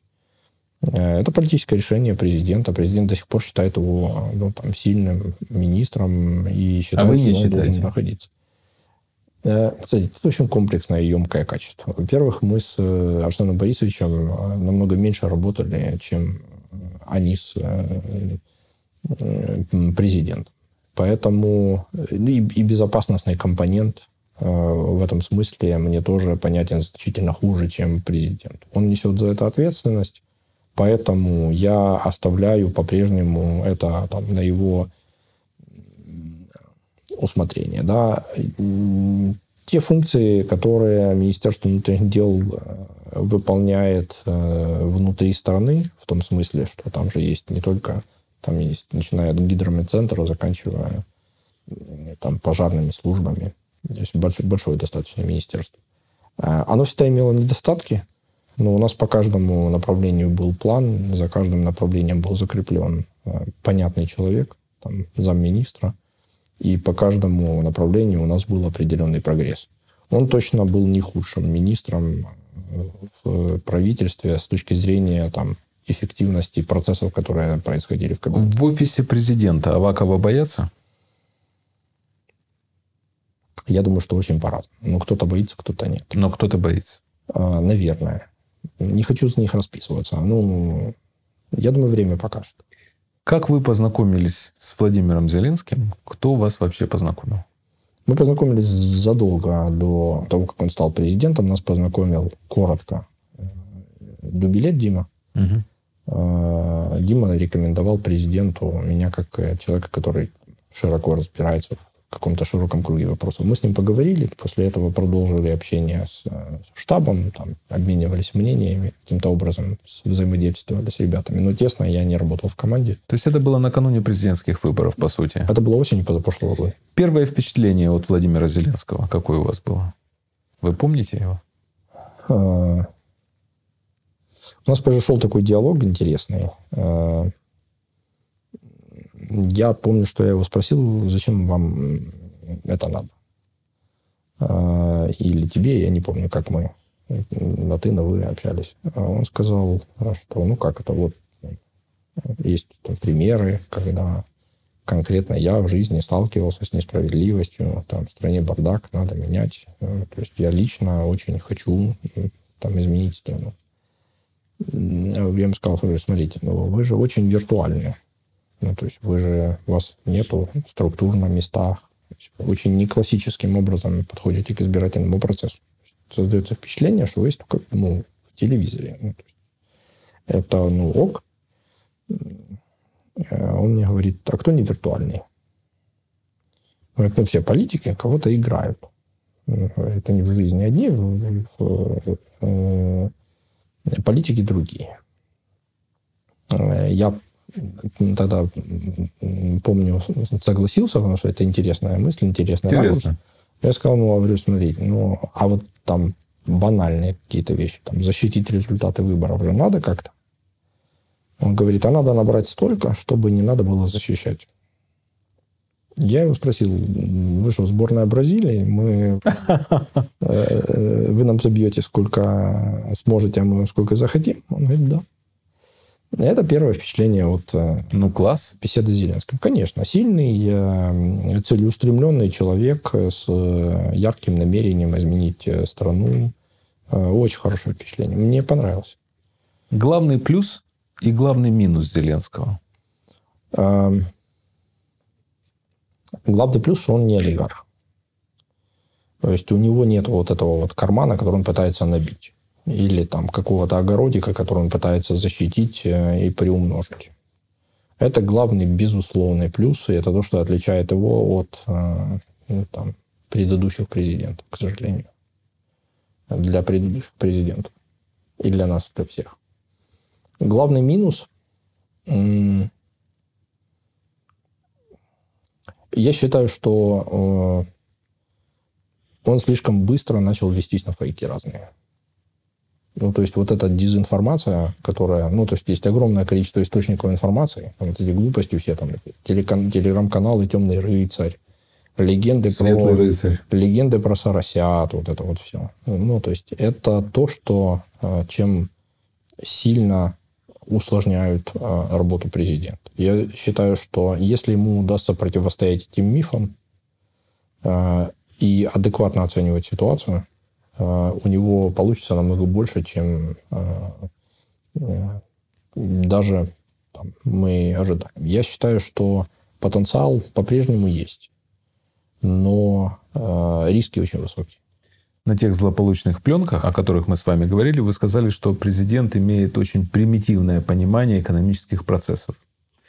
А если бы у вас была возможность не говорить этого. Я сказал примитивное в смысле простое. Да. В смысле, это ну, важно. Если цитата, да. Э, если бы была возможность отмотать пленку назад, у вас э, вы бы не говорили этого или все равно говорили? Вы понимаете, Дим, э, когда ты работаешь премьер-министром, ты проводишь десятки совещаний в день. Э, это десятки, сотни иногда людей. И поэтому контролировать каждое слово... Конечно. Это вопрос не публичного выступления. Конечно. Я же это не публично сказал. Конечно. Это там закрытая рабочая встреча угу. с коллегами, с которыми мы там, а, там планируем, а, во-первых, дискутируем и обсуждаем сложные достаточно процессы, пытаемся понять, как э, противодействовать откровенным мифам и фейкам, каким образом донести до президента простыми максимально словами. И я, как человек, который работал с президентом больше, чем коллеги, пытался им на пальцах, ну, если хотите, объяснить специфику восприятия э, президента. Я ему говорил о том, что, смотрите, он понимает простые конструкции, как и большинство людей. Ну, то есть, там, чем проще ты объясняешь, тем лучше понимание. Не в смысле, что он там глупый, а в смысле, что для любого человека воспринимать более простую конструкцию проще, легче, она ну, запоминается, воспринимается лучше. А это, конечно, там было вырвано из контекста, перекручено. Ну, то есть работали профессионалы. Они нарезали это таким образом, чтобы максимально вызвать э, э, реакцию негативную и обиду у президента. Владимир Александрович на вас обиделся? Не знаю. Он не говорил при встрече ничего? Э, вы знаете, я думаю, сейчас уже сложно об этом говорить, потому что я вот эти полутона не помню, да. Я помню, что первая после этого встреча, а это было почти сразу после того, как они были опубликованы, так сложилось, что в момент, когда они были опубликованы, как раз ехал в офис президента на совещание на какое-то. Да, и первая его реакция, на мой взгляд, была очень адекватная. Он сказал, что да ладно, не переживай, все нормально. Потом уже через время его мнение поменялось. Кто-то подкрутил, да? Может быть. А те, кто находится внутри, работают в офисе президента, говорят мне, что налицо а, серьезный такой непрофессионализм окружения Владимира Александровича и плохая кадровая политика. Это главные минусы президента, вот, о которых говорят его соратники. А также они говорят о том, что президент находится в теплой ванне и недополучает необходимую информацию. Это так? Я уже три месяца не работаю с президентом так близко, поэтому там говорить вот там теплой ванне или не теплой э, мне сейчас сложнее, но э, я уверен, что информация, которая там поступает президенту и которой он владеет, она, э, будем говорить, достаточно однобокая. Я думаю, что какие-то вот эти вот все истории и мифы, они успешно культивируются. Причем там сознательно, несознательно, это уже не важно. В голове у... Ну, то есть вот они, они успешно культивируются вокруг президента для того, чтобы он там относился к, там, к тем или иным людям как-то, относился к тем или иным событиям. В интервью мне, которое Владимир Зеленский дал накануне президентских выборов, оно было таким программным, трехчасовое интервью.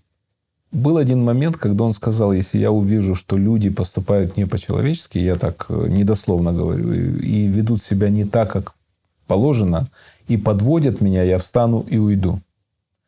А вы допускаете, что Владимир Зеленский может не досидеть до конца на президентском посту, встать и уйти? Смотрите, все может быть. Но я считаю, что э, президент Зеленский сейчас э, точно не э, там, хуже, чем там, президент-олигарх, условно. Да лучше точно. Вот. И именно поэтому для страны лучше, когда там, президент сильный, когда у президента хорошая команда, когда у них получается. И я, и вы, Дим, все мы вот в этом заинтересованы. Поэтому я бы очень не хотел, чтобы э, там подобные сценарии реализовались, потому что это значило бы, что э, ну, вот эта вот там, история с обновлением политики, она проиграла. Угу. Это очень плохо. Угу. Потому что я не понаслышке. знаю э, глубину проблем, которые сегодня стоят перед государством. Самые серьезные из них глубоко системные. А, и если будет время, мы об этом глубже поговорим. Но а, справляться с ними... Ну, у вас нет университета, в котором этому учат. У вас нету а, там, большой лавочки запасных и нету готовых людей, которые способны прийти и вот так вот там с этими проблемами справиться. Потому что это проблемы, которые накапливались 30-летиями, да, десятилетиями, в смысле, там, на протяжении последних 30 лет. А, и поэтому каждый из них – это вызов. А, и каждый из них э, будет э, там, решаться годами. То есть развязываться годами. То есть это вещи, которые тоже должны меняться постепенно. И я допускаю, что ни одна команда и правительство ни одно может поменяться на этом пути. Но все равно должен оставаться какой-то правильный стержень, да, какой-то правильный фундамент, ориентир. И поэтому э, там, для людей, которые фантазируют о том, чтобы там, Зеленский быстрее ушел, нужно задаваться вопросом, а что после. Угу. Потому что возвращение в времена там, президентов-олигархов или президентов-представителей олигархов, э, это путь в никуда. Ну, то есть нельзя... Э, у вас, когда мы говорим о там, государственном управлении, о политике, э, достаточно часто приходится выбирать не между там, хорошим и очень хорошим. И даже не между хорошим и плохим. Потому что тут выбор более-менее очевиден. Приходится выбирать между плохим и очень плохим. И таких ситуаций, таких э, случаев масс. Так вот, э, для меня э, главной ценностью Зеленского является отсутствие вот этой вот э, коррупционной составляющей лично у него. А, я что много... значит лично у него? Это значит, что у других она может быть? Я слышал о том, что... Ну, смотрите, много же есть разных там, разной информации, разных слухов э, о том, что там тот или иной член команды каким-то образом там участвовал в коррупционных процессах. Я не хочу на этом спекулировать сейчас. Э, мне, знаете, как у Асадова, в лучшее хочется верить, да. Но э, я считаю, что при нынешнем качестве работы правоохранительных органов далеко мы не уедем. Ну, то есть, э, абсолютно точно если внутри команды президента появится какая-то коррупционная лавочка, и она не будет прикрыта, это, конечно, приговор и самому Владимиру Александровичу. Но вы уверены на сегодняшний день в том, что президент не является коррупционером? Смотрите, я три месяца уже не общался нормально с Владимиром Александровичем. Э, но я исхожу из того, что он точно не олигарх, и у него точно нет намерения набивать себе карман. Все остальное я пока ну, не комментирую. Это слухи. Чисто человеческие отношения с Владимиром Зеленским у вас сохранились? Пару раз обменялись э, сообщениями. Доброжелательно, нормально? Ну, вроде да. А, это наше интервью части, касающейся лично его, да и страны в целом. Он посмотрит, как вы считаете? Не знаю. Вполне возможно, да, может, не сразу. А вместе с Виктором Андрусевым и Антоном Геращенко, а также с еще рядом таких э, достойных молодых людей вы создавали движение «Люди важливі». Я присутствовал даже на одном из форумов вашего политического движения в Парковом. Какие цели вы перед собой ставили? Ну, там было, на самом деле, большое количество людей разных. Э, э, Виктор был действительно вместе со мной среди учредителей.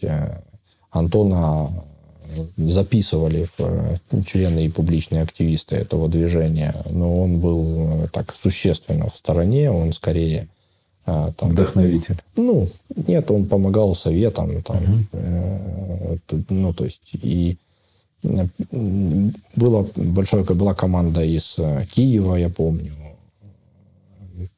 Был Макс Нефедов. Ну, то есть, было, было большое количество людей, действительно идеалистов, которые Э, хотели в хорошем смысле слова лучшего для страны. Почему оно появилось? Очень просто. По все той же самой причине. Потому что не было видно альтернативы.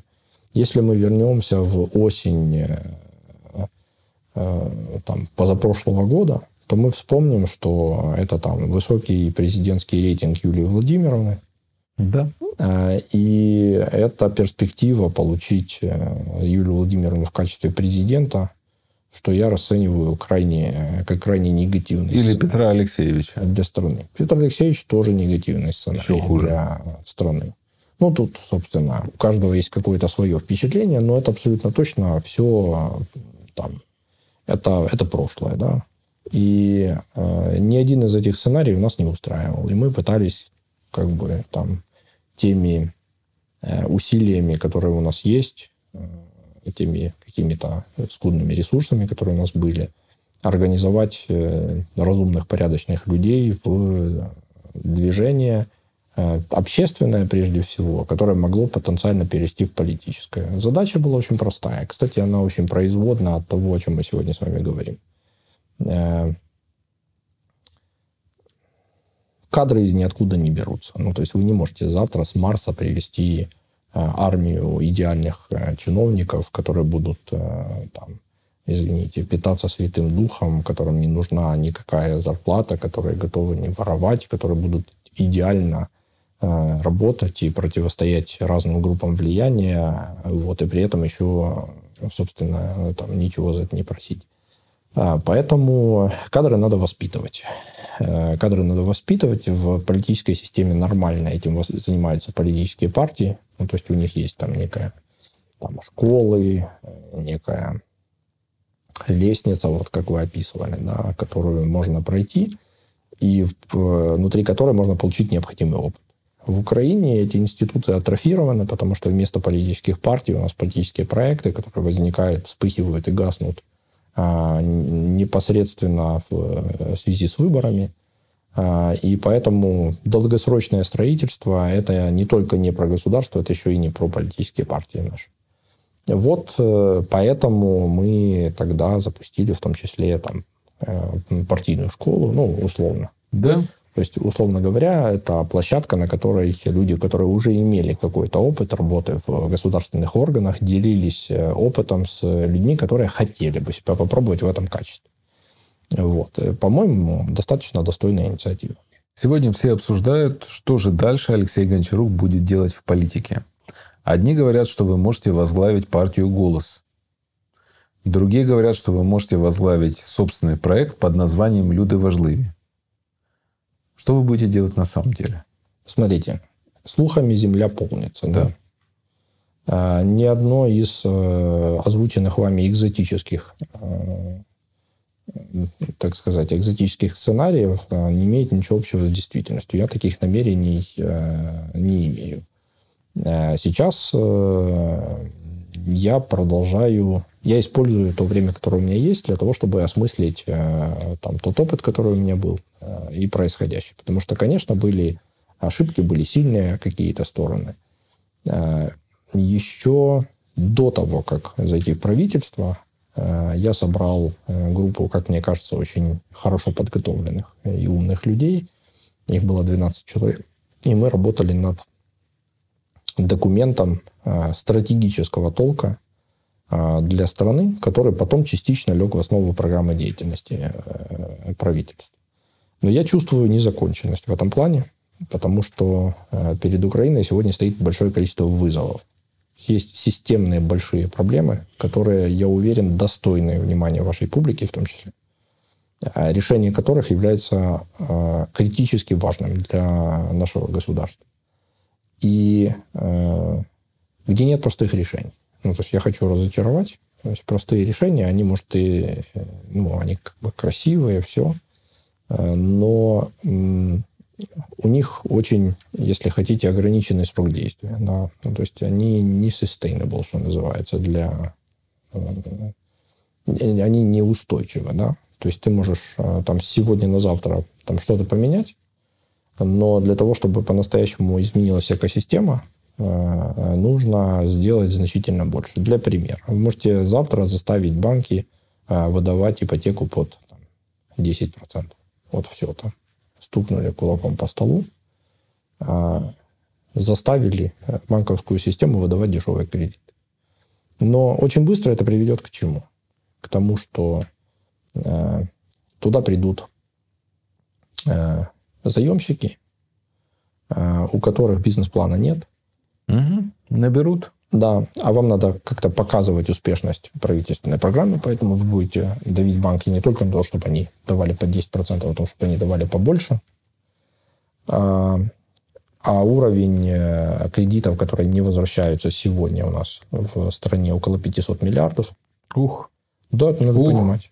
Э, эта цифра колоссальная. Более того, мы должны понимать, что за каждый такой выданный кредит платим мы с вами, Дим. Ну, то есть вот, и каждый украинец. Надо просто понимать. Вот э, каждый раз, когда там условный ваш ребенок, уважаемый там, зритель, да, хочет э, купить э, там, машину или квартиру в кредит, он переплачивает в процентах.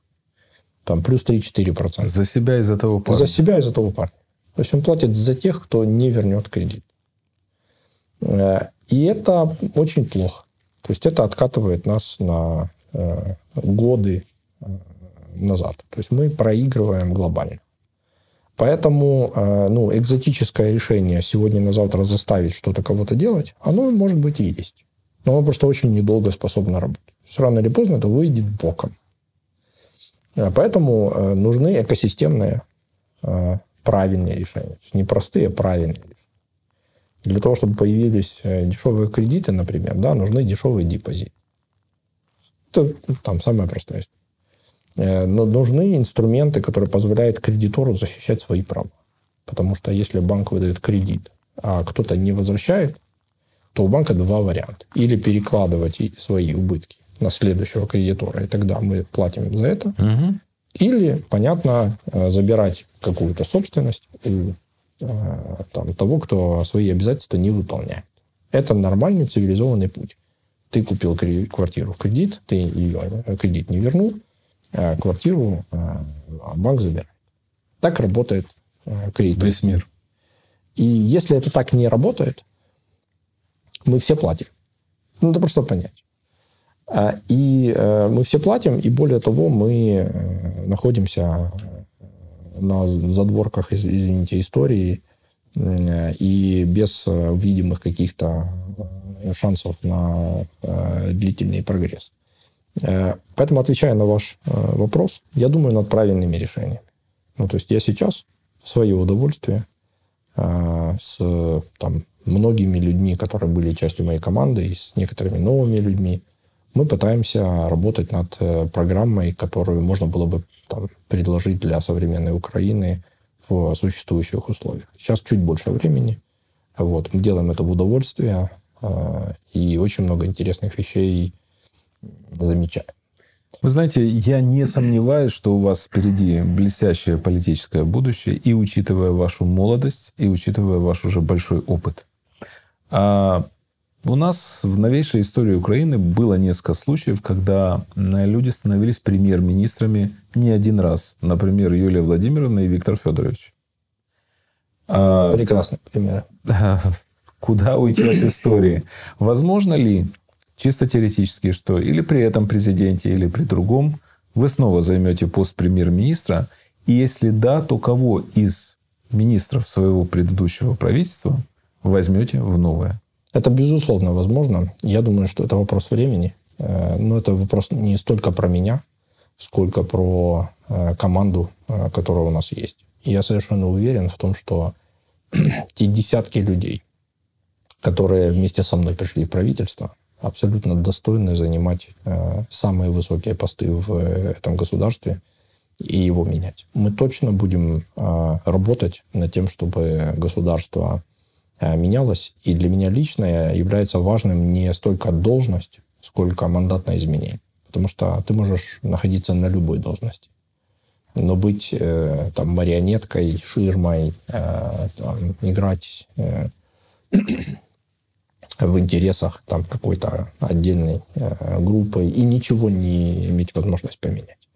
А можешь э, находиться там чуть более в тени и используя свои там свою репутацию, знания, какие-то контакты, э, влиять на политические процессы. Поэтому главное не должность.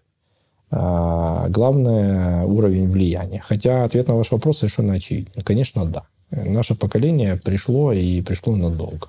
То есть, возможно, какие-то тактические там, перестановки, но в общем и целом следующие несколько десятков лет мы будем управлять этим государством, потому что это наше государство. А, это государство патриотичных а, украинцев, умных, опытных, которые, конечно же, простые люди, которые точно так же совершают ошибки, но которые имеют некий моральный барьер от того, чтобы не красть и не использовать государство в своих целях. Это я, критически важно. Я вам задам последний вопрос. Очень много было негативных прогнозов последнее время и в связи с эпидемией коронавируса, и не в связи с ней. И многие говорят, все пропало, Украина на грани распада, все плохо, денег нет. Еще вторая волна коронавируса может нас вообще поглотить и довести до ручки.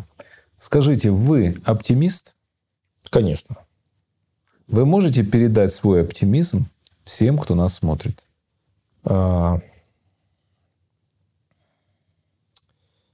Такой очень необтекаемый вопрос. Э, наверное, передать Чем больше будет оптимистов вокруг нас, тем лучше будет мир вокруг нас, правда? Смотрите, я уверен в этом, это правда. Потому что оптимизм – это позитивная энергия. Ну, то есть, вообще люди, которые способны видеть хорошее, а, меняют мир, на мой взгляд.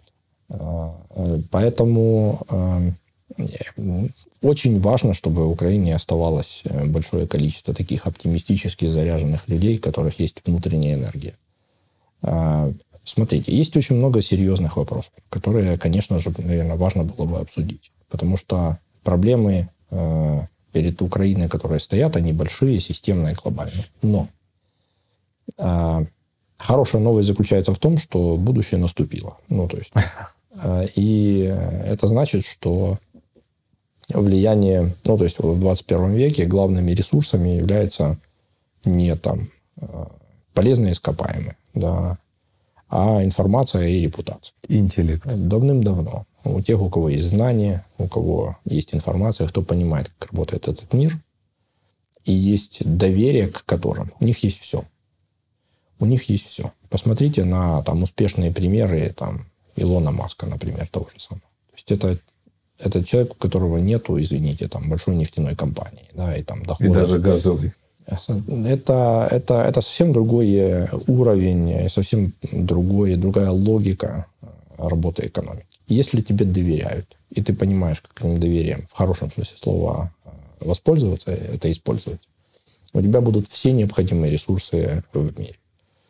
А поэтому а, люди, а, которые ориентированы на там, первичное накопление, на то, чтобы там, оттяпать себе какое-то государственное предприятие, на то, чтобы там, где-то присесть на какие-то там потоки, там, где-то отжать себе какое-то месторождение. Это люди прошлого. И они в этом смысле уже проиграли. Потому что э, их влияние будет э, с каждым э, днем э, уменьшаться, уменьшаться, уменьшаться. И это видно уже по а, всему, потому что э, те, кто не переоборудовался, не перестроился на более современный манер, уже проигрывают, причем по всем статьям. И вопрос времени, когда они проиграют окончательно.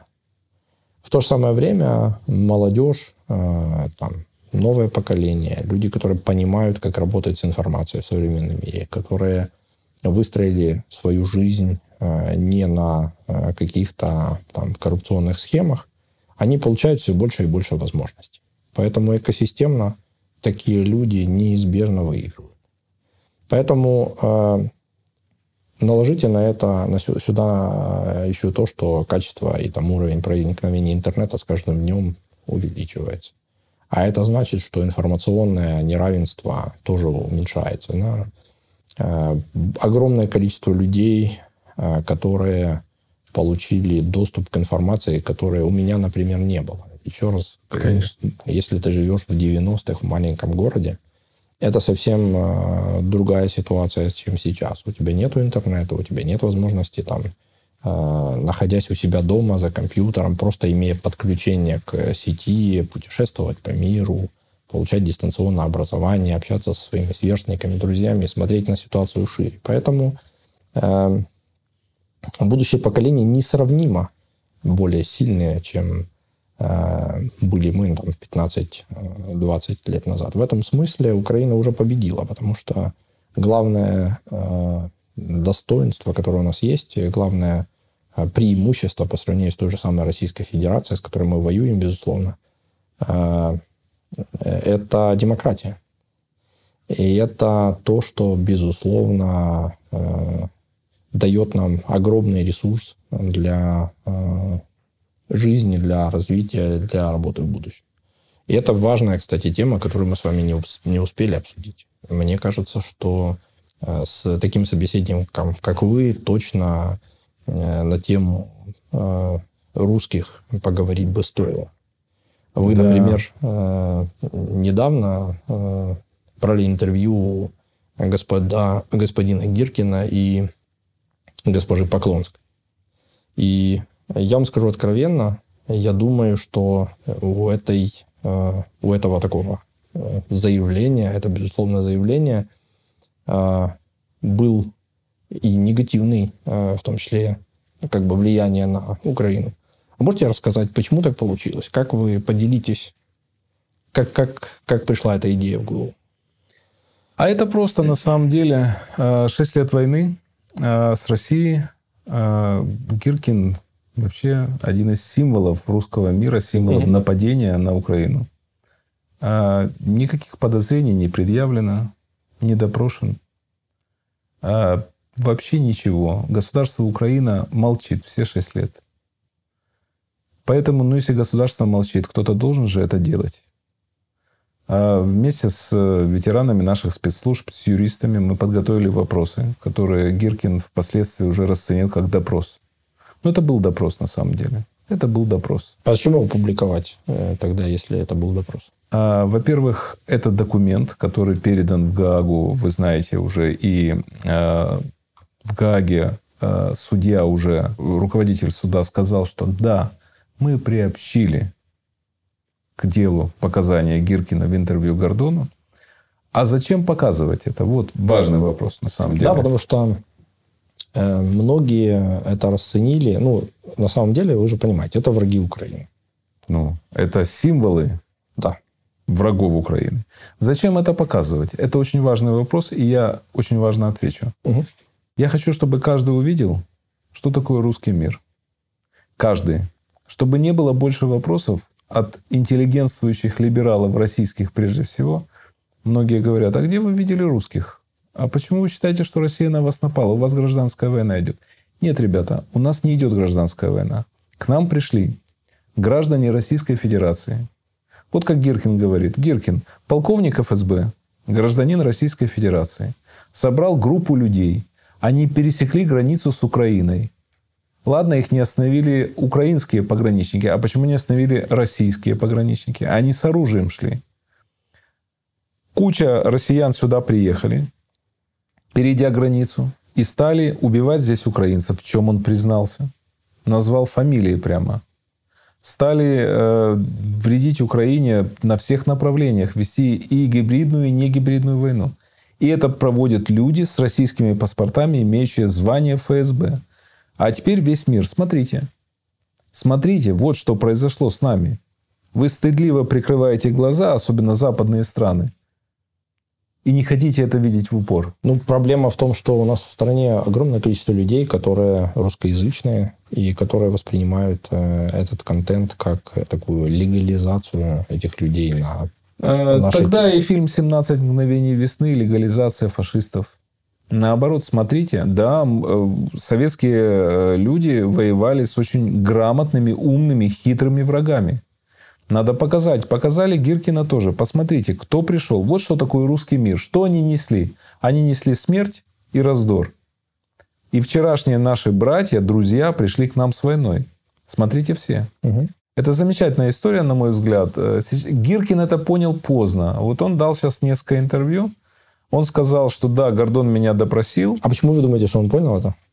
А, вот я сейчас объясню. Потом он говорит, я не думал, что будет так. Сначала он начал мягко, а потом я понял, что это допрос. И дальше он говорит, он меня гипнотизировал. Это был гипноз. Э, у него линзы черные специально вставлены. Ну, дальше пошли уже такие вещи интересные.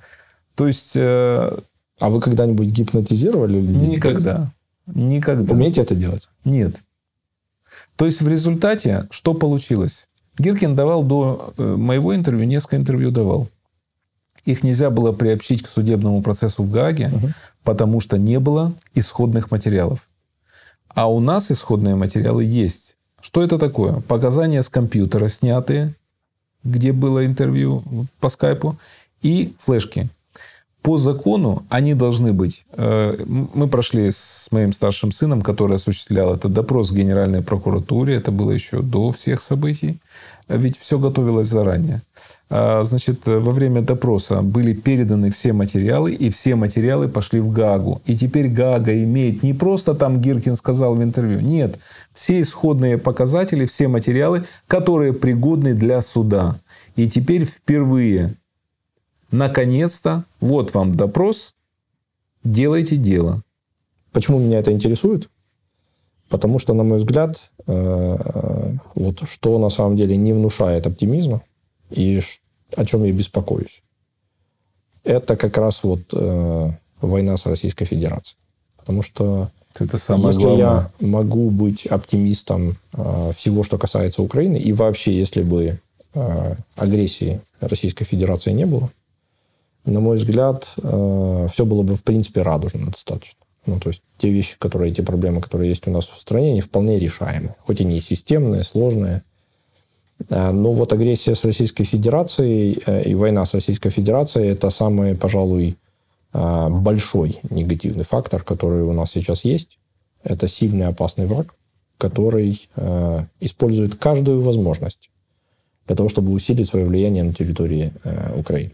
И вот что важно? Важно, э, чтобы подобные действия, они не усиливали врага. Вот. Важно быть аккуратным в каждом таком э, проявлении. Э, я думаю, что вопрос возврата Крыма, возврата контроля над Донбассом, это э, очень прикладная, понятная, конкретная задача, которая будет стоять перед нами в э, ближайшие годы. И тут надо быть очень аккуратным в э, там, каждом взаимодействии с русскими, для того, чтобы не усложнить, а упростить эту задачу. Мне очень приятно, что вы сейчас сказали об этом. Э, мне кажется, это вообще в стране, особенно из руководящих э, сотрудников, мало кто понимает что это самая большая проблема, стоящая перед Украиной, это война с Россией. В первую очередь сейчас гибридная война, потому что э, с помощью большого количества российской агентуры, которая внедрена в руководящие слои Украины в разных сферах, э, ведется чисто война на разрушение украинской государственности. Причем, э, как это происходит, достаточно почитать опубликованную в начале 2013 года в журнале «Военный вестник», российском журнале, статью начальника Генерального штаба Вооруженных сил Российской Федерации генерала Герасимова, где он четко расписал, как будет выглядеть гибридная война в отношении противника России. Там все расписано, и все происходит по плану. Вот то, что вы сказали, меня это радует на самом деле, потому что это мало кто понимает. И когда начинаешь говорить российская агентура, э, гибридная война, Россия и так далее, многие, да ладно, что-то. И вот не понимают у нас еще любые переговоры с Путиным бесперспективны. Минский процесс бесперспективен. Путин не собирается отдавать ни Крым, ни Донбасс. Вот это тоже важно понимать. А у вас нет ощущения, что э, цель, например, вернуть Крым, э, она становится все более декоративной в Украине? Так это было видно с самого первого дня. Крым сдали бесславно тогдашнее руководство Украины. Просто, просто вот так отдало. Никто за него не сражался. А могли. И все разговоры о том, что у Украины не было сил, это все фикция. Могли. Отдали. Я вам скажу больше. Э, на самом деле, если даже абстрагироваться от э, событий вот прям тех дней, когда э, Крым уходил постепенно, а он уходил на моих глазах в том числе, угу. потому что мы с ребятами, опять же, пытались сделать все для того, чтобы э, Крым остался в составе Украины. Мы там проводили э, Евромайдан в Крыму буквально накануне этой агрессии. Многие ребята из нашей организации попали потом в плен ФСБ. Есть там даже вещи, которые э, там страшные там пытки и все остальное. И поэтому для меня это тоже очень такой личный вопрос. И что мне не было понятно все пять лет после э, революции достоинства, это то, что э, почему такое, скажем так, ну, то есть очень-очень как-то непрактично и очень символически относится к задаче э, восстановления контроля над Крымом. То есть вопрос даже не в том, что его потеряли, что, на мой взгляд, действительно тоже очень слабое следствие слабого модель поведения. Вопрос в том, что сегодня о нем почти э, забыли. А, э, когда мы работали в правительстве, была очень одна прикладная задача, очень понятный маркер, который мы перед собой ставили и который был для нас ориентиром качества работы государства в этом направлении. А, это количество студентов, которые а, поступают, то есть молодых людей, которые поступают с территории Крыма в украинские mm-hmm. вузы. Если вы посмотрите на динамику, она удручающая. Ну, то есть сегодня а, там крохи, почти там, ну, проценты какие-то всего лишь с территории Крыма уезжают в Украину, молодежи. А это еще та молодежь, которая mm-hmm. училась в украинских школах, mm-hmm. которая помнит, что такое украинский язык, мы это почти потеряли уже. Это бездействие, на мой взгляд, преступное фактически бездействие. Э, это очень э, ярко свидетельствует, на мой взгляд, о реальном отношении. Государства. Э, ну, не государства, а отдельных людей, которые mm-hmm. там, за это отвечали, к этой проблематике. И мне кажется, что мы не имеем права продолжать в том же духе. Это точно направление, которым должно быть выделено, э, уделено отдельное э, совершенно точное внимание. Там есть сложная проблема крымских татар с автономией, которые, безусловно, заслужили того, чтобы иметь свое, какую-то свою субъективизацию в качестве автономии. А эта проблема, эта проблема, она до сих пор заговаривается. Это то, что э, точно должно быть приоритет. Надо четко понимать, что у русских э, в Украине э, усиливается влияние, в том числе и в средствах массовой информации. Однозначно. Что тот же самый господин Порошенко, он фактически легитимизировал тут Медведчука и всех Конечно. вот этих вот замечательных товарищей. Конечно.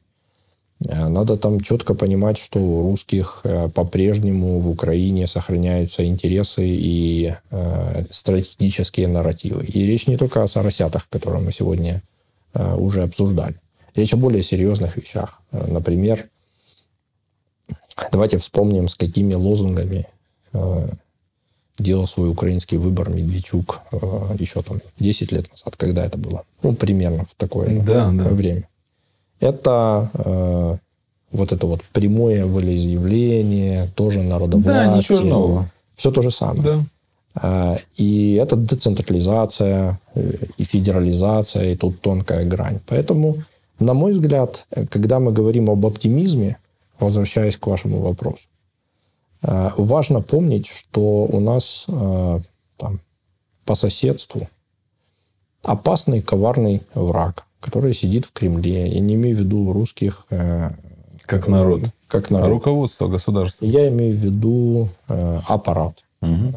государства, которое поставило свою целью уничтожить или максимально ослабить Украину как государство. И это те вызовы, к которым точно нельзя относиться легкомысленно. И это не только про фронт это не только про обстрелы, боевые действия, линии разведения. Это про намного более глубокие, глубинные процессы, которые происходят в э, государстве. И в этом смысле, когда мы э, там, продвигаем децентрализацию, продвигаем народовластие там, э, как возможность или инструмент проведения референдумов, надо помнить о том, что это инструменты, за которые топит и часто сражается. Даже э, там вот эта вот пророссийская часть, э, ну, я не скажу общества, я думаю, что это скорее такие пророссийские группы влияния. Они очень хотят ослабить максимально центральную украинскую власть а, для того, чтобы использовать э, этот момент для дальнейшей дезинтеграции э, страны как государства. И именно поэтому я считаю, что сильный президент сейчас с хорошо построенной сильной вертикалью – это критически важное э, вообще условие, при которых можно себе позволить идти в там, углубление децентрализации, в углубление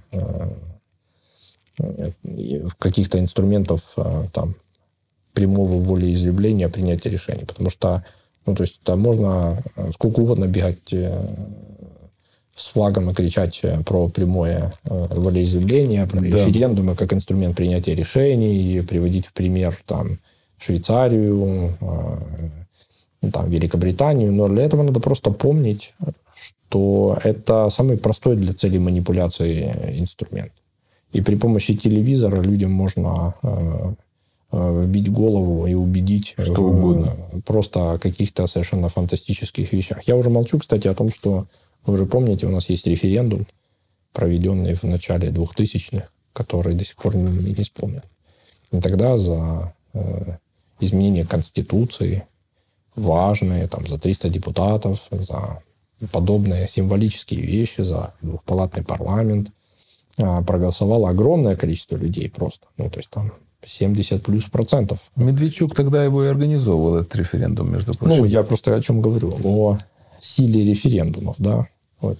Вы помните референдум Brexit угу. недавно, да? Угу. Где перевес в несколько процентов, а, потом протесты, и все равно а, решение референдума выполняется. И посмотрим на наш замечательный референдум где поддержка колоссальная, 80 плюс процентов, и после этого никаких э, совершенно юридических последствий. Надо просто понимать и думать. Э, это не значит, что эти инструменты не имеют права на существование. Нет, вполне. Это значит, что э, имплементируя подобные инструменты, надо хорошо отдавать себе отчет в том, э, как они могут быть использованы в условиях ведения войны. Алексей, мы сегодня затронули очень много важных тем. Я, э, во-первых, хочу поблагодарить киевский отель «Премьер Палас», который нас сегодня принял.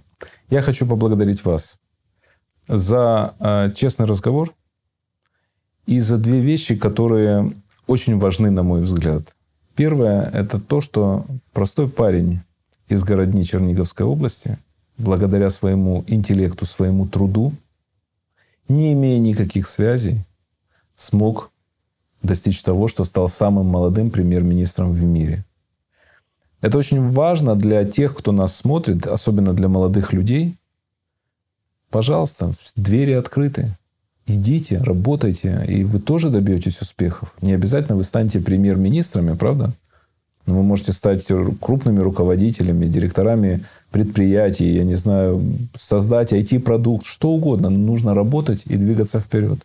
Это первый важный вывод, который я сделал из нашего интервью. И второй, мне очень приятно, что среди высшего руководства Украины есть человек, который понимает всю опасность России сегодняшней для Украины и понимает, как нужно минимизировать эту опасность. Мне кажется, что сегодня у нас недооценивают Российскую Федерацию в этом плане. И э, розовые очки надели и не понимают, насколько это жесткий, коварный враг. Да, я с вами соглашусь по поводу, пожалуй, прежде всего второго вывода. А, и э, сигнал о том, что э, каждый человек в Украине, который э, там, готов работать много над собой и вкладывать усилия в свое будущее, может добиться успеха, это очень важная характеристика страны, прежде всего. Страна возможностей. Потому что абсолютно точно. Это Украина страна возможностей. Украина это страна работающих э, социальных лифтов. И, и если э, оставаться целеустремленными, то рано или поздно э, у вас все получится. Хотя откровенно э, я хочу сказать, что э, это скорее пока только такая первая серия, потому что впереди еще такое количество огромной работы и такое количество проблем, которые надо не просто решить, их надо если хотите. Некоторые надо прожить для того, чтобы их решить. То есть это значительно более глубокая э, история, их надо, из них надо вырасти, э, что э, я думаю, что мы еще, мы еще много-много раз будем иметь повод для подобной Тем не менее, это диалога. оптимистичный финал. Точно. И я вам за него благодарен. Спасибо вам. Спасибо вам. Спасибо. Спасибо.